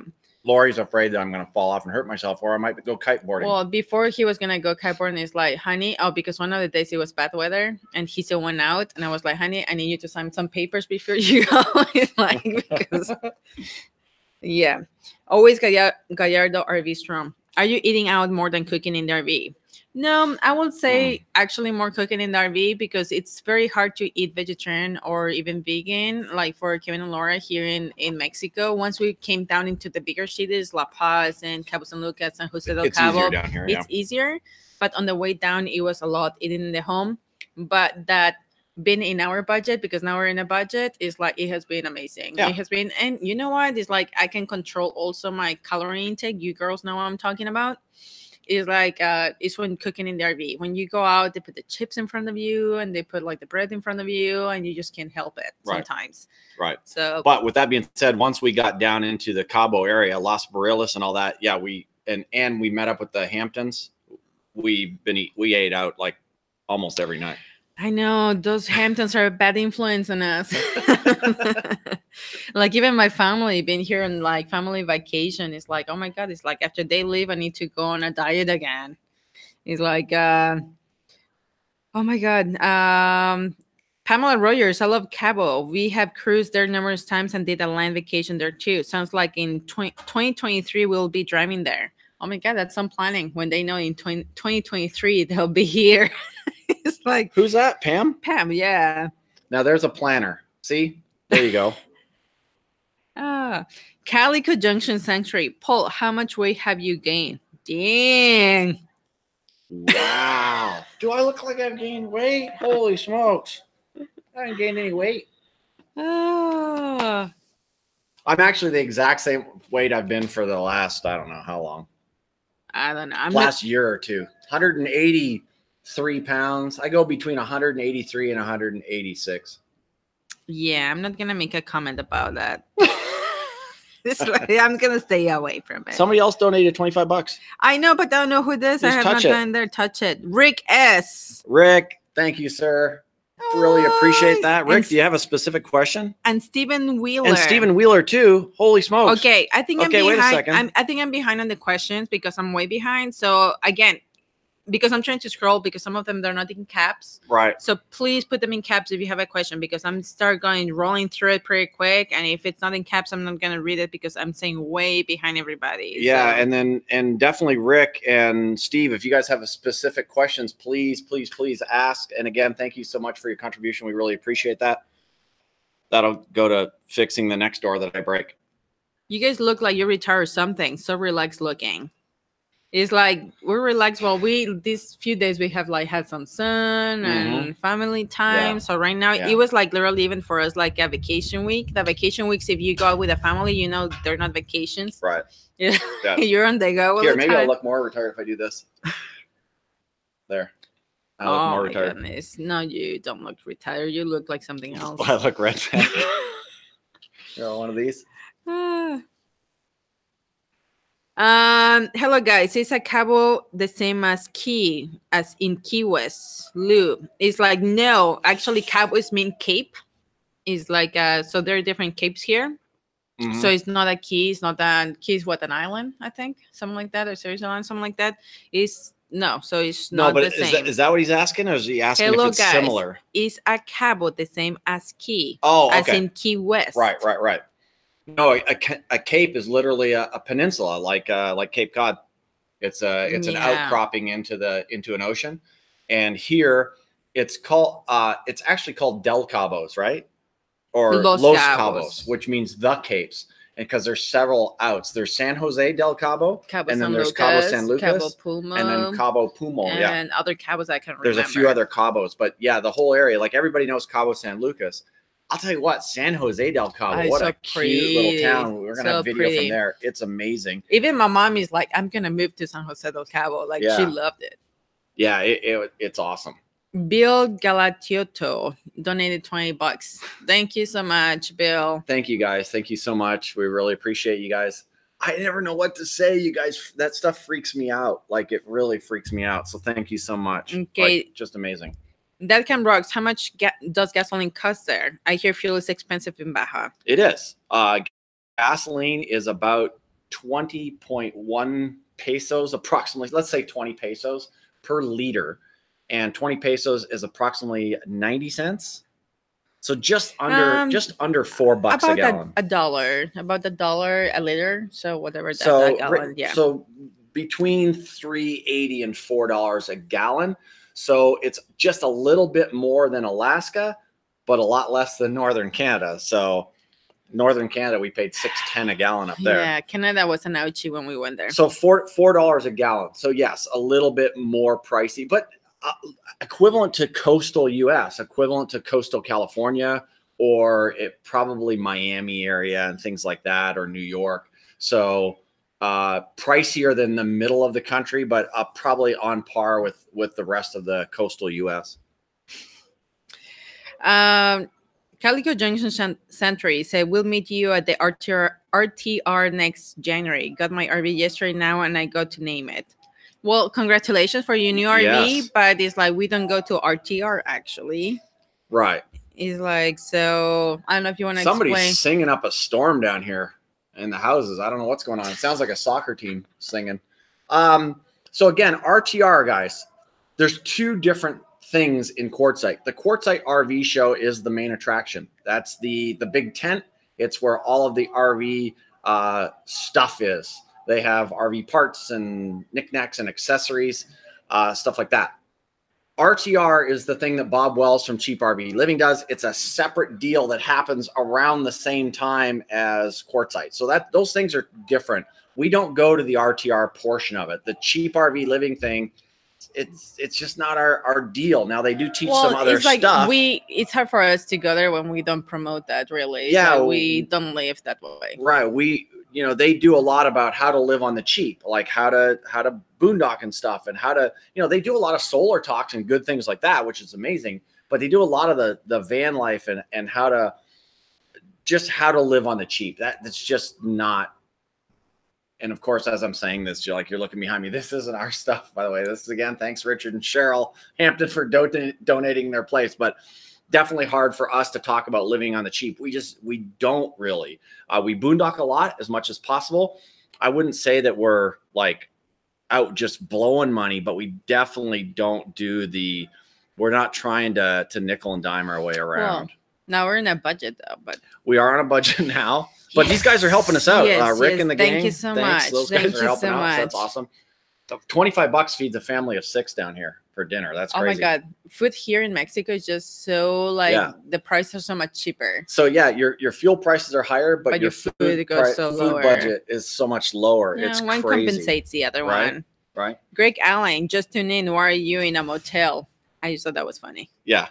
Yeah, we're we're not in a motel. Obviously, you just heard us. This is a timeshare unit that was uh, given to us by our friends Richard and Cheryl while we're here in Cabo San Lucas. Our RV is parked right out in the parking lot. Uh, we're back in it tomorrow. So we were here for a week with Lori's family for their family vacation, and uh, Yeah, we tried to do a family vacation. Like we kind of like uh go for Christmas. every- yeah, we like didn't do Christmas every other year, and we were trying to do a vacation, family vacation every other year. So we see each other once a year for sure, Yeah. either Christmas or family vacation. So this year was family vacation. Right. Uh, old man in a van. I'm going to travel in an Astro van into Mexico. Are there parks accepting conversion in in RV parks? Oh, absolutely. You will have no problem in that at all. No problem whatsoever. That that is a phenomenal way to travel down here. yeah, literally, you can fit anywhere. In, yeah, You can fit sure. anywhere. There's so many boondocking opportunities down here. If you have a van, uh, there's places where you can park right, literally right on the beach. Um, if if you're in a van class B or like a truck camper, this is this you will absolutely love it. Absolutely love it. Yeah. Uh, John Chucker, that is uh, John from Waterbury. Yeah, John from here. Waterbury, Connecticut, in the Uh, house. Yeah, people saying that this is how far behind I am. It's like that they love nosy neighbors. Okay, you're gonna have to scroll ahead. And if somebody, if we if we miss your question, post it again. That's but funny. Scroll up Can vegetarians eat animal crackers? We have some funny guy, funny bastards in our group. Uh, yes, we can eat animal crackers, but we will feel bad about it later. That's funny. Paul is always eating chips and salsa. LOL. Yes, Always. he's always. I could sit here all day and night and eat chips and salsa with guacamole. Always. And don't you guys think that Lorena should do a guacamole video? Oh my god, you keep saying that. It's, It's like so good. Now, guacamole is just avocado with pico de gallo in it, really. But when she does it, it's amazing. So I'm still trying to get her to do a video on that. It's not really RV related, but it's food related, and that's always good. Brent and Liz Scott. We were hoping you will record your dolly backup skills gain out of that subdivision last video. I know. That was that was uh yeah. He was angry. Paul Pablito yeah, I, I didn't back Oh, up the by the dolly way- out of that. Paul. Here in Mexico is Pablo. So we're calling him Pablito right now. Pablo. Pablito is little Paul. Okay, Um, Pablito. so, anyways, uh, I was furious, and everybody in the group knew that, and they didn't speak to me for the next few miles because I was just toasted. I had looked on Google Maps the day before, and it showed that the street was pretty wide. What I did not uh, calculate is the fact that there was going to be a ton of construction, and people would be parked in the side of the street and parked like a bunch of morons, and you couldn't drive through there. So. Yeah, I was hot. I actually disconnected the uh the dolly for that one. I had committed myself so so far in. Luckily, Kevin and those guys were back far enough, but I committed myself so far. We just unhooked the dolly and I didn't bother trying to do any skills at that time. I was so mad that it was so so so narrow. Yeah. That even when Paul has mad skills, Yeah. it was just like more like a let's turn around pretty quick because even Yeah. there was traffic waiting there for us and traffic and, people there were kind of like and I will say that was the foreigners. They were looking at us like just shaking their yeah, head like they oh were my they were kind of annoyed by us, Yeah. but I was annoyed that they were parked like idiots and they built a brand new community with streets that were this wide. anyway.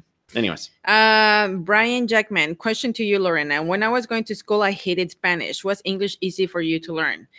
Absolutely not. this is a great story. actually, That's tell your story about English. actually, I fail English. it's like when I was in fourth grade, I was in a. Most of you don't know, I uh, grew up in a uh, bilingual school that is German and Spanish. So we will have half of the classes in German and half of the classes in Spanish. So I was already with two languages. At fourth grade, they introduced English to us. And when that came around, my brain, I guess it was just too much three languages. So it's like for me, I had such a hard time. I hated English. And that teacher, you know, we all have that one teacher that help us and we love, and there's that teacher we hated. Well, my English teacher was the teacher that I hated, and she hated me. So it's like she totally failed me. And back then, it was one. Uh, well, at least in that school, it's like if you fail one class, you fail the entire year. I mean, all your classes. You have to repeat that all that year.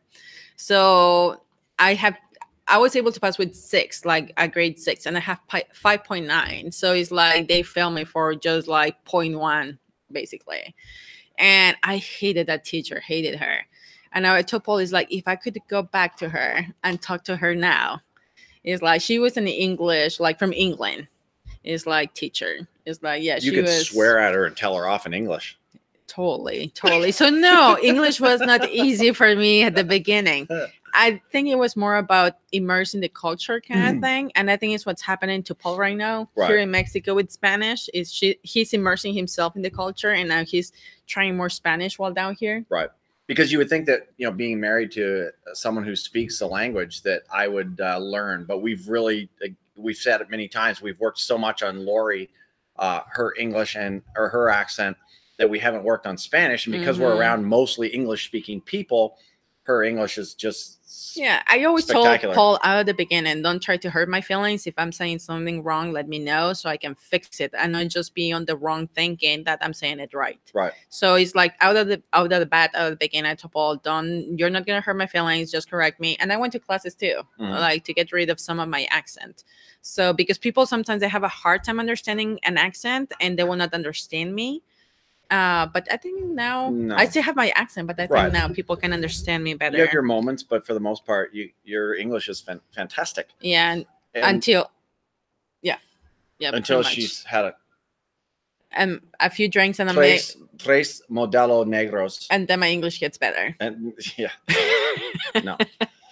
Uh, but I think what's frustrating about learning a new language is just it's just we're learning something that that's really super unfamiliar with, and because we try so hard to understand and we can't, it's frustrating, and it, it's frustrating for me. Like the other day, I said something to the guard, and I said half in Spanish and half in English because my brain just immediately went back to English, and and I I was embarrassed by that, and you know her family's in the car, and I'm trying to to speak their language, and so I got kind of embarrassed by it but then they're supportive. So mhm. um, that that's what you just have to understand is that you're going to say some embarrassing things, and and that's just the way That's it is. Don't the- don't get frustrated. Just continue to to work on it. part of le- learning. Yeah, learning anything. Yeah. So even sometimes once in a while, Paul or Kevin will kind of like laugh at what I say because of the pronunciation, and I just like I don't care. It's like Yeah.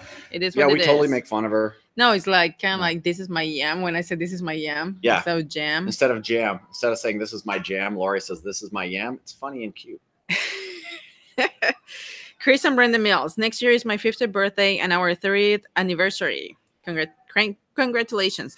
We're planning to head back to Los Barriles to celebrate. Well, next year on Los Barriles, uh, Cheryl and Rich already rented a condo Yeah. for three months, I believe. or Yeah, something Richard like and Cheryl that. will already be down there, so you'll be able to hang with them. You can party with them. Yeah. That can rocks. Are you going back to Las Vegas when you leave Mexico? No, No. no, need to. No plan to. We have no connection there now. Uh, our business is sold. We have no family there. We still have some friends there, but uh, I don't think so. Yes. Uh, how many lithium batteries did you install? None. Yeah, we have we have no lithium. Uh, we still have our four AGMs that we bought last year after leaving Quartzsite, and uh, we have four 250 amp hour AGM batteries, which means we only have 250 amp hours of actual usable. And I won't get into that right now, but uh, it's been more than enough.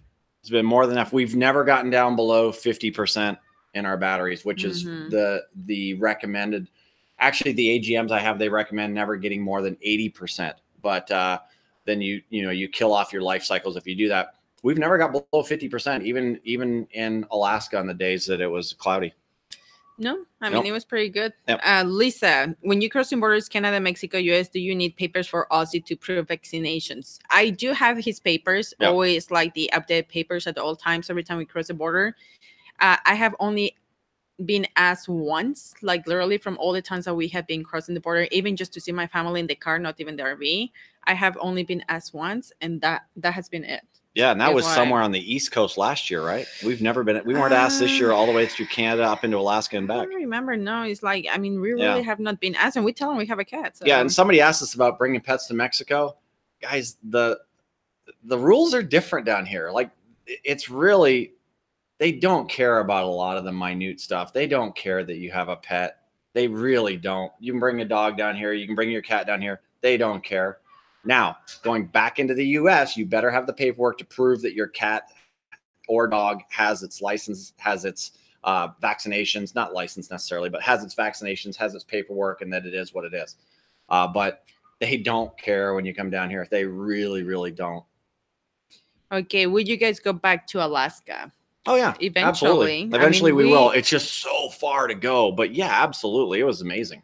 I mean, we loved it. Loved it. I mean, the scenery. I mean, this. if they could crank the temperature up about 10 degrees, that would be awesome. Chris and Brenda, Lorena, and your beer is getting warm. I know, right? Well, it's kind of chilly right now, so it's not getting too warm. uh, harm eating, eating, no say. I can't remember how to say it, or I don't know how to say it. After all those terrible roads, do you ever consider a ride, a ride system, Oh, air ride, a ride system, harm eating. eating? Um, yeah. Air, not for not for our coach. Air ride for that thing, it's too much money for the the amount of coach. It would probably cost me 10 grand to put air ride in a 30 $30,000 coach. So I can't see doing that. Um, I would think that in a in a coach that has air ride, the roads would be much better. Absolutely.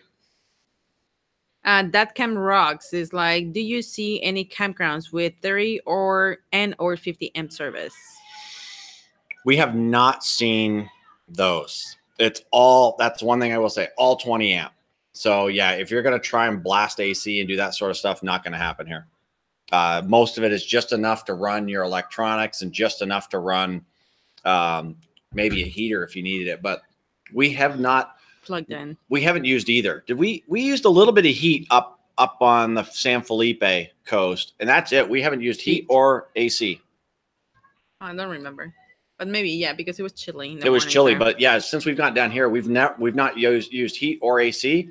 So uh, there's no need for 30 to 50 amp. The Yeah, only reason you're going to use 30 amp or 50 amp in your coach is to run your ACs, and we haven't used that yet. yeah no So if it's something that you absolutely need for something in your coach, uh, they're not going to have it. You're going to have to run your generator if you're going to have to run AC or or that stuff.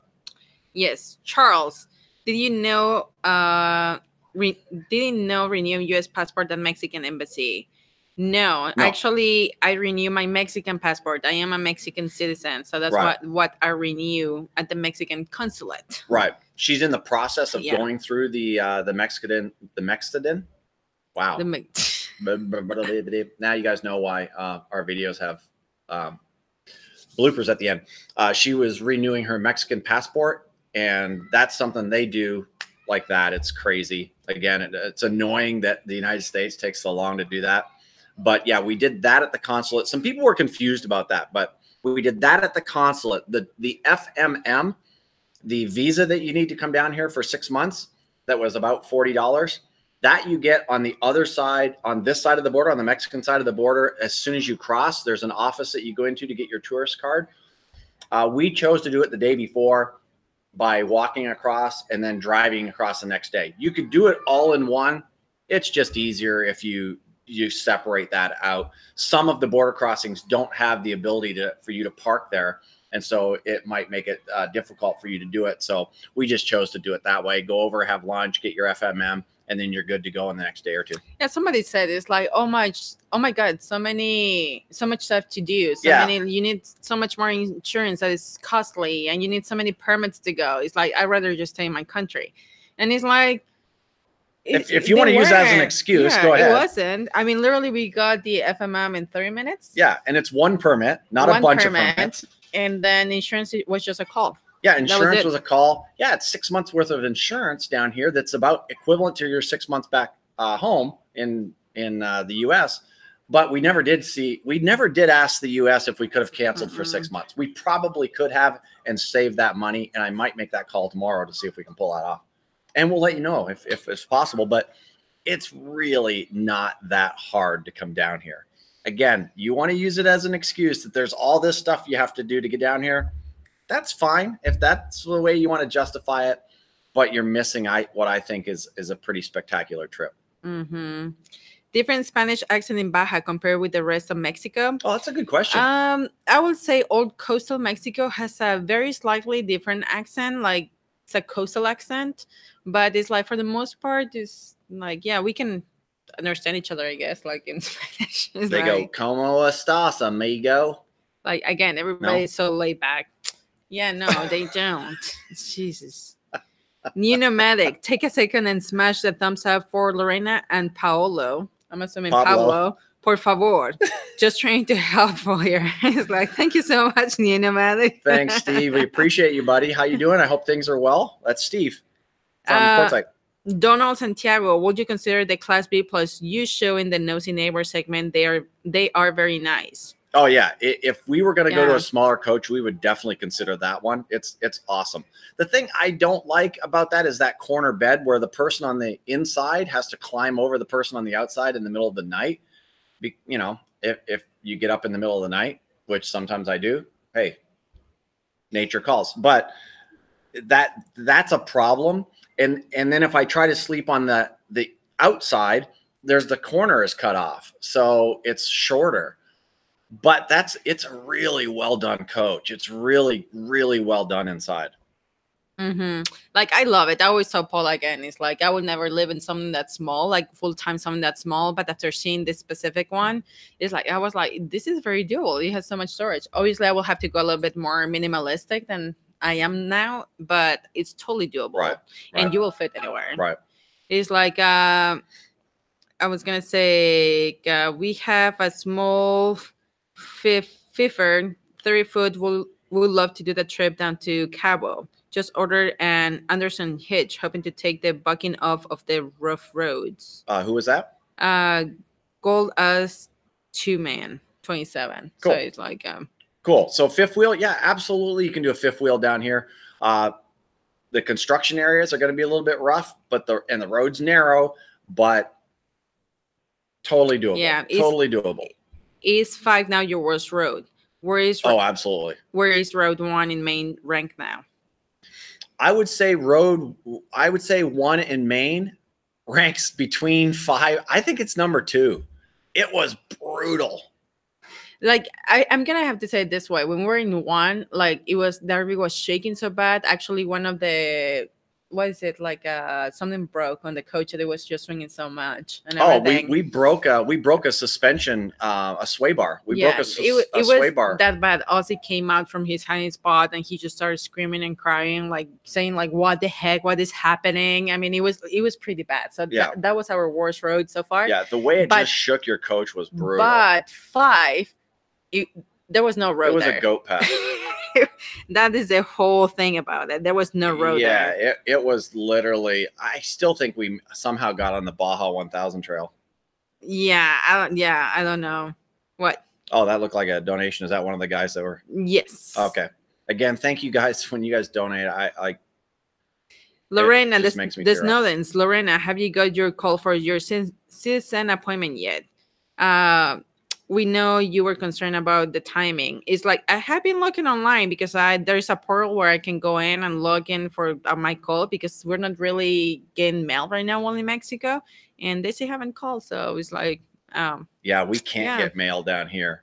I tried to send a piece apart to Richard and Cheryl, and it almost would have been just as fast for me to bring it down here. I think it took two and a Two- half or three weeks. no, I think it was ten days, ten days to two weeks. 10 days, and that was sending it UPS three day.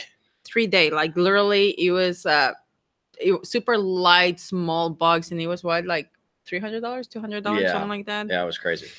yeah it was bad um okay i'm trying to find the questions because people are not putting them on caps You guys are going to upset her. If you got a question, put it in caps because it stands out. It makes it easier. We got about 20 minutes left. Holy what- smokes. what is the best street vendor what is the best street vendor food you have have in the corn cup thing oh i love my corn cup it's just so good Yeah, and she had just another like- one when she had another one when we were just in San Jose del Cabo and uh, at the street fair there, which we'll show you guys in, the, in a couple of couple of weeks probably. Uh, so good. Where are we going for summer?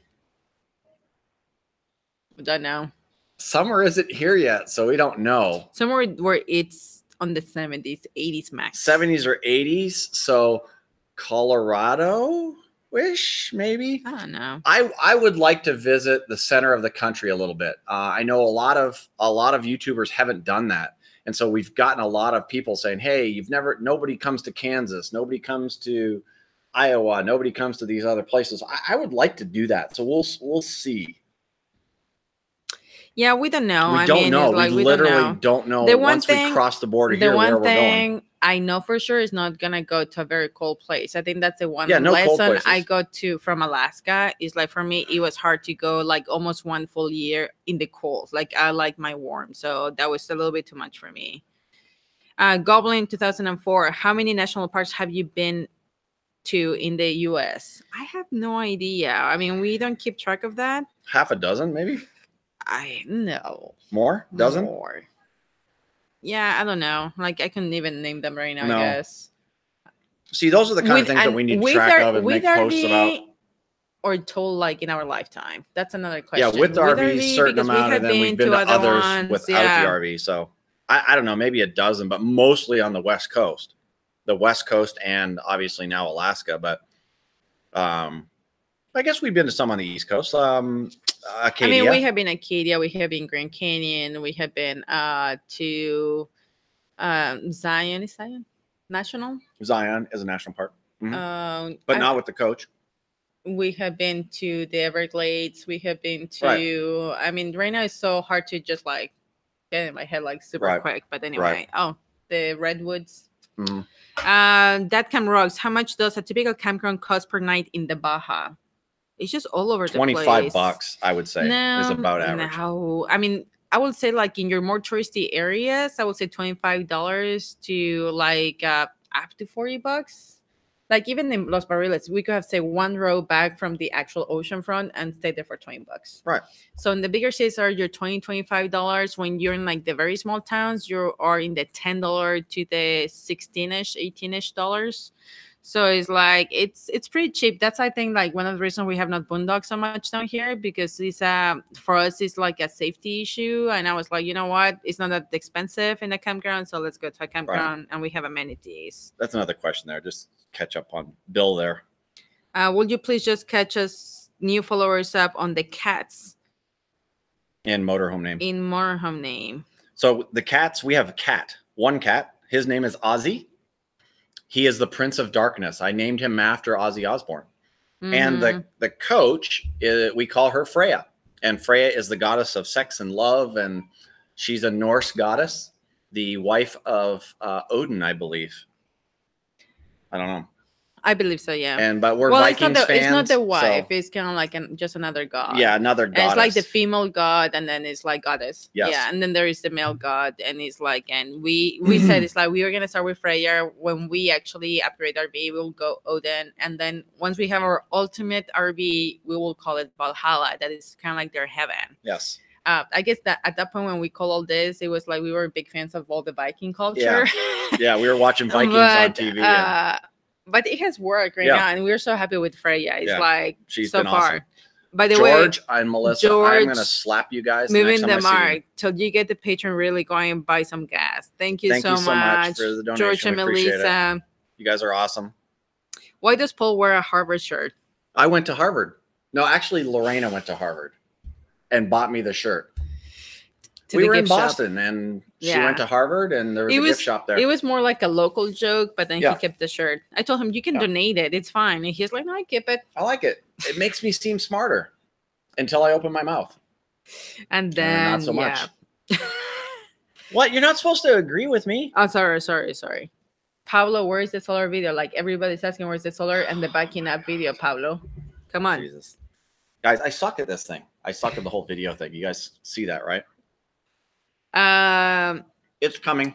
So it's funny Christmas. because there's Lorena. Seriously, will you please do a quack video? I don't know what a quack video is. Guac. I'm assuming they're oh, don't like make fun a of them walk. spelling guacamole. Sorry, it's no dance. Oh, that, now they don't make fun of your accent.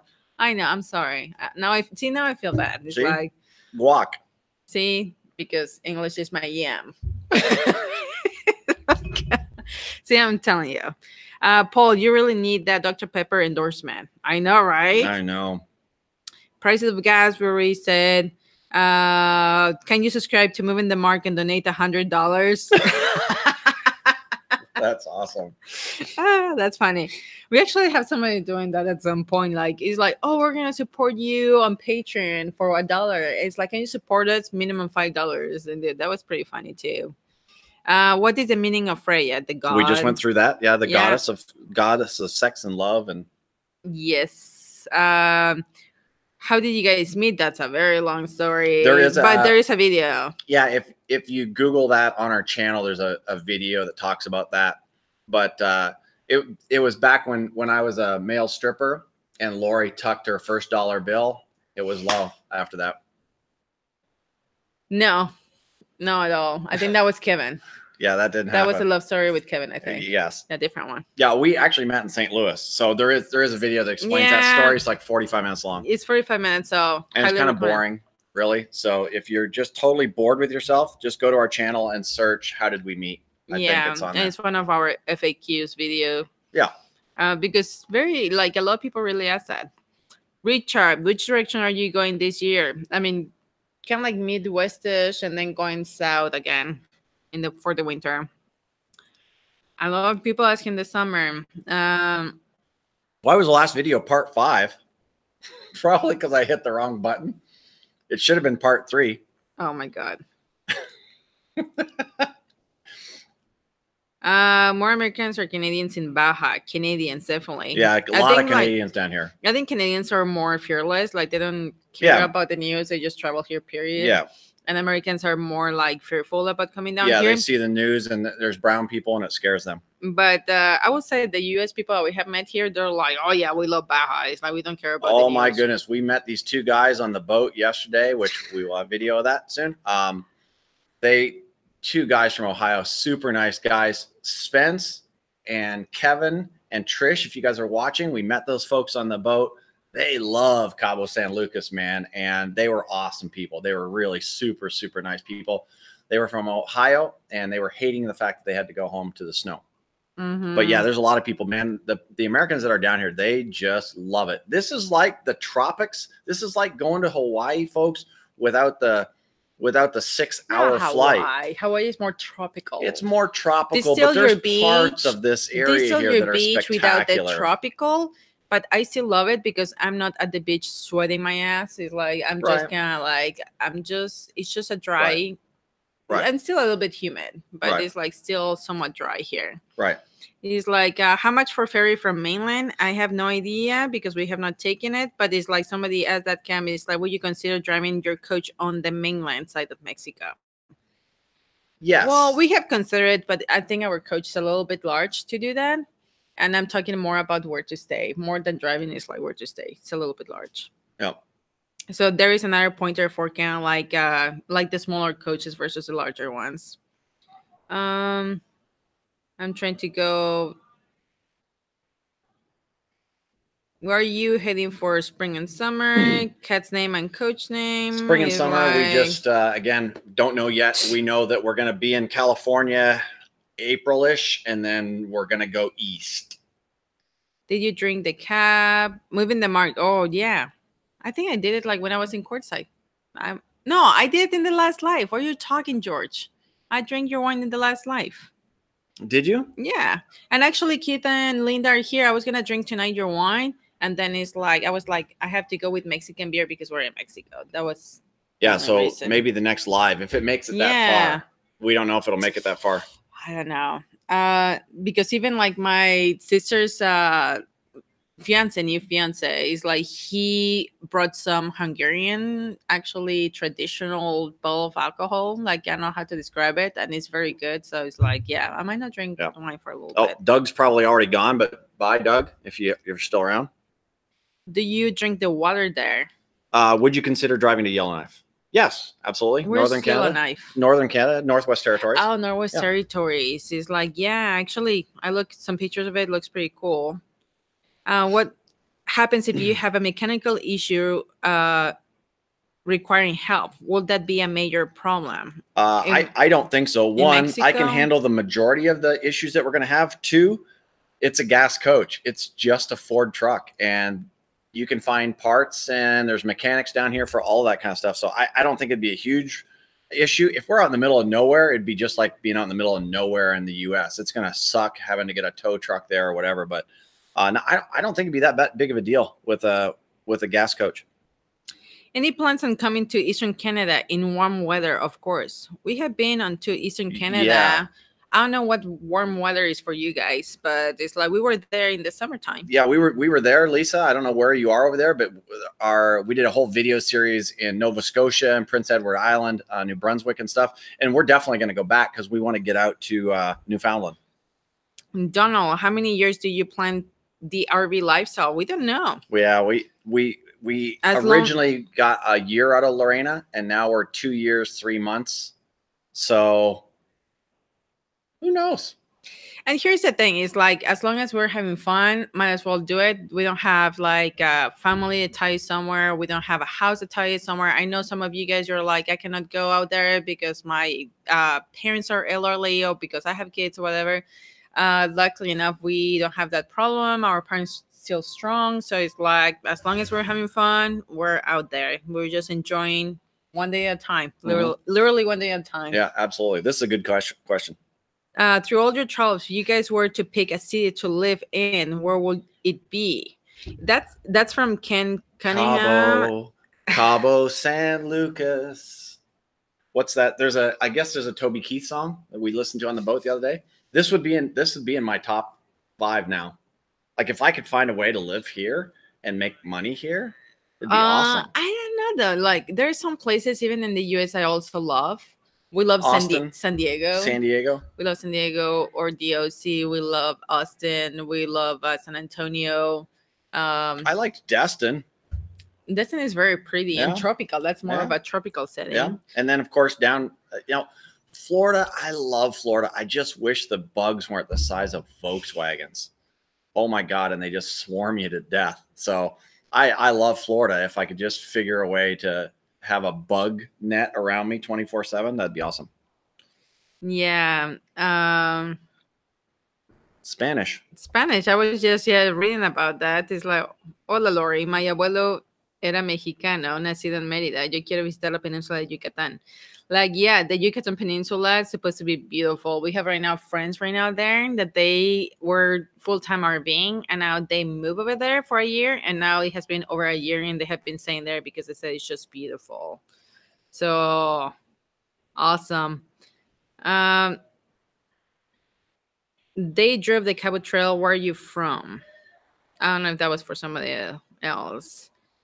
We we drove the Cabot Trail. Was wow, it was beautiful. Was awesome. Okay, I never considered driving down the Baja Peninsula because I am not fluent in Spanish. How important is it? I can say a few common phrases and understand when people speak slowly, and I can read signs. I will say, like I said, the Hamptons came here by themselves, Without any Spanish. like very extremely little Spanish, and they were am- able to make it. So, and also right now, the cool thing about is technology yeah. you have use an app. translators like they were here in the condo with my family my mom doesn't speak english like very little english too and richard and her they were like talking to each other through the phone through a translator so Yeah. they were like laughing Yeah, they were having so a good much they were having a good time So I it's it's easy for you to do, even if you speak zero Spanish. Really, uh, most people are going to be able to. Um, uh, there, most people are going to be able to communicate with you. Mhm. Most. A lot of times, you can just point. Like gas, you can point at the regular gas, and be done. We're getting really, really close, guys. We got about eight minutes. I know we didn't get to everybody tonight. I can't believe how fast. This I time went know by. time Holy just smokes. went fast. Why not go in dual citizenship? Actually, US doesn't recognize dual citizenship. I have to what how they call it renounce or Yeah, you have like to denounce. denounce denounce uh, my citizenship in Mexico. But when I talk to Mexico, they're like when I ask that once I get my citizenship in the U.S., how do I enter Mexico when I come in with an American passport or Mexican passport? And they said they don't recognize it, but we still do. Come in here with your Mexican passport. So it's like I still, as far as Yeah. Mexico knows, I'm still like a Mexican citizen every time I come here. when I became a U.S. citizen, I had to denounce my Canadian citizenship and say that I would go to war against Canada, which I think is hilarious. But yeah, the United States no longer recognizes dual citizenship, which again, kind of a weird deal. Like I was born in Canada, you can't take that away from me. But in my heart, I'm I'm an American citizen. I, I have been for a long time, and and yeah, with Lori, same thing. Mexico recognizes her as will always recognize her as a Mexican citizen, just like Canada will always recognize me as a Canadian. But the United States says once you've made that switch, you are American. Mm-hmm. So that's how it works. So I think at this point, like there is some more question. It's just hard to kind of like really um can like address everything. I'm so far behind. I'm not even close to finishing the questions. So I think this point we can like just leave it there and just kind of like close Mexico. Our thoughts and what what our like plans, if any, in Mexico. Yeah. So this this is funny. Well, just the last few. This is it. That's the end of them. So just do the last few quick. Would you ever buy a TT fifth wheel travel trailer after motorhome? It's possible. We don't know. Uh, can you give us a shout on your next video? That would, be, so cool. Chris and Brenda Mills. We can give you a shout out right now. I- I'll forget. I'll try and remember that, but I'll forget. Don't, Um, don't forget New Hampshire and Vermont. Your way out to Newfoundland. Absolutely. Like I know. Yeah, we missed have it missed so time. much. Which camera are you Kevin, using? Kevin, how's the smoke down here? You know what's funny? You guys look at Kevin and think he's this crazy hippie smoking, dope smoking guy. Kevin doesn't smoke. That's awesome. Uh, I was impressed with your earlier work done all on just the phone. Yes. Somebody says, "Oh, which camera are you using?" Shooting this live. I'm shooting it live on. Uh, I can't even show you how I could. I don't know how I could show you. Oh, watch this. Um, I'm shooting it live on what's called a C920. It's a Logic Cam video. And watch this. I'm gonna I'm gonna blow your mind right here, and so I can show you what I'm shooting this on. So you guys will be able to see in the camera the camera.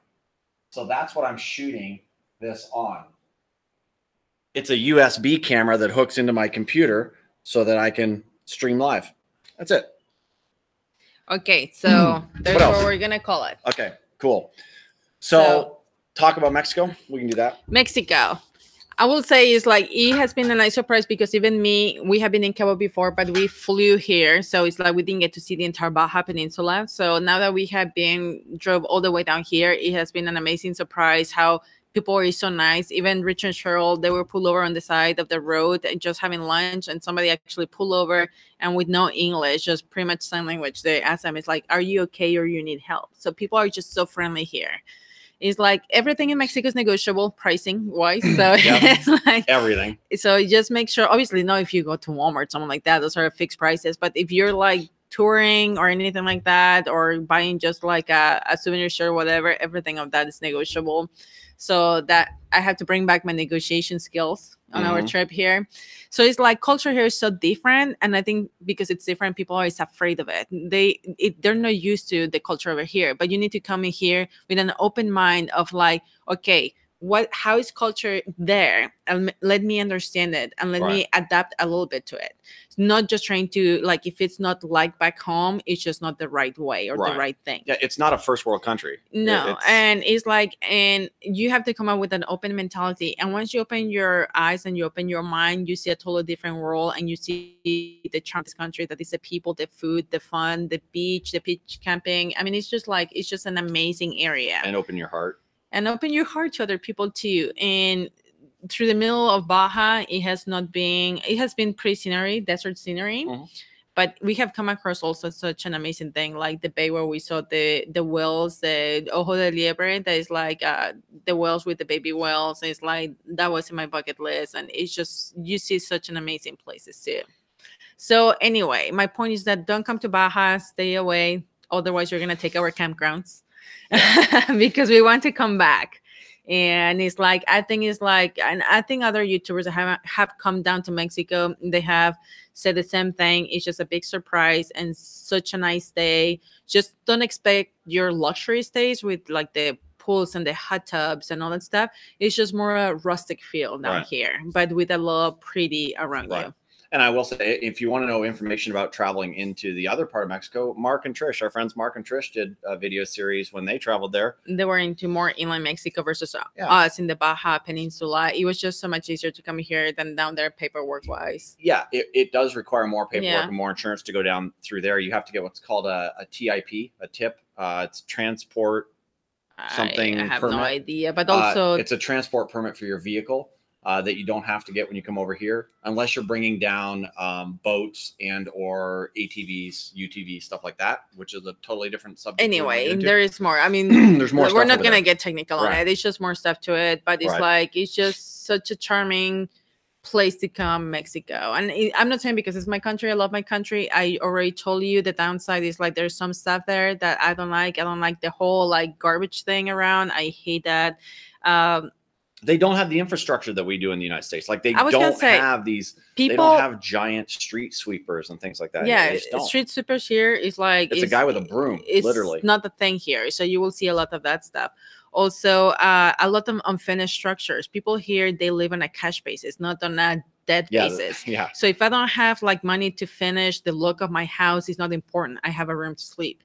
So you're gonna see a lot of that kind of stuff here but you have to understand the reason behind it no it Yeah. just looks ugly period. They spent their last dime trying to get a roof over their head, and that Yes. that was all that was important. They're not worried that it looks perfect. and the other thing that I have forgotten about Mexico now down here is like the difference in uh classes and I think a lot of even Mexican actors they talk about it about classism here is still a huge thing or Right. you have a lot of money or you have no money and you can totally see that and that's one thing that although Right. Mexico's trying to get rid of it you can totally see here Right. You'll go through areas with multi-million. Well, that's another thing we talk about here, but you will go through areas with multi-million dollar homes and then areas where there is literally nothing. They're nothing. cardboard shacks and um and skids put together to try and make a house because they don't have anything. Mhm. Um, but with that being said, the other thing you see here is you will see a multi-million dollar house parked next to a shack. It is the on the craziest park thing ever. like built next to a yeah. shack yeah Yeah, right on the ocean. You'll see this just beautiful, gorgeous home, and next to it is this lean-to thing with a with leaves on the top of the roof. Like Yeah. you don't see that in in the United States. So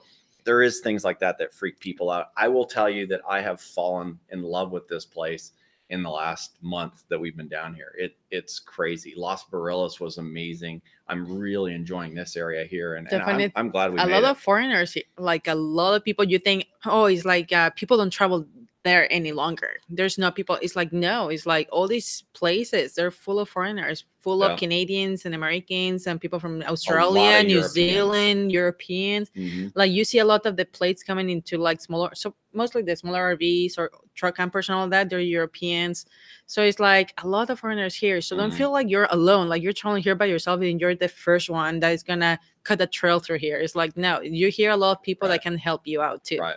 Right. I wish I wish we really did have Laura and Kevin and Tom and Faye here. Tom and Faye were, were hesitant about hesitant about coming down. I would like to ask them that same question that we were asked, would we travel by ourselves? I'd like to ask them that. And I and I bet their answer is they will they would travel by themselves. now. yeah because even like right now we are not having the same timing to go back into the us and we talk about it and tom and Faye we're like yeah we feel comfortable enough that we have to branch out we can go on our own back home and it's like Yeah. okay it's like amazing yeah, it's, it's been really, really cool. So, as always, we really appreciate you guys joining us and spending so much time with us. We love doing these things, and we love having the the Q and A's. And we, we'll, we'll do another one. The next one may still be in Mexico. I don't know. Uh, we'll see. unless it gets too hot and Unless it then gets it's like too hot, time and to get we'll out of here. But uh, the water sports are amazing. The food is amazing. Or wait, no, there's there's nothing to do here. The food sucks. Don't come. yes That's- that's what we're going it. with. don't do it But we might come down next year to try it again, just in case. just to te- just to- Yeah, if it has might be changed wrong. if it has changed and see yeah, if it's changed. It might be just it, but no. Love you guys so much. Mwah. And we'll see you guys in the next videos and stuff. And uh, thanks for joining us and taking the time out of your busy schedules. You guys are amazing. I'm gonna hit the button now. bye guys Bye. time to have dinner I'm we have here. not eaten time to for dinner no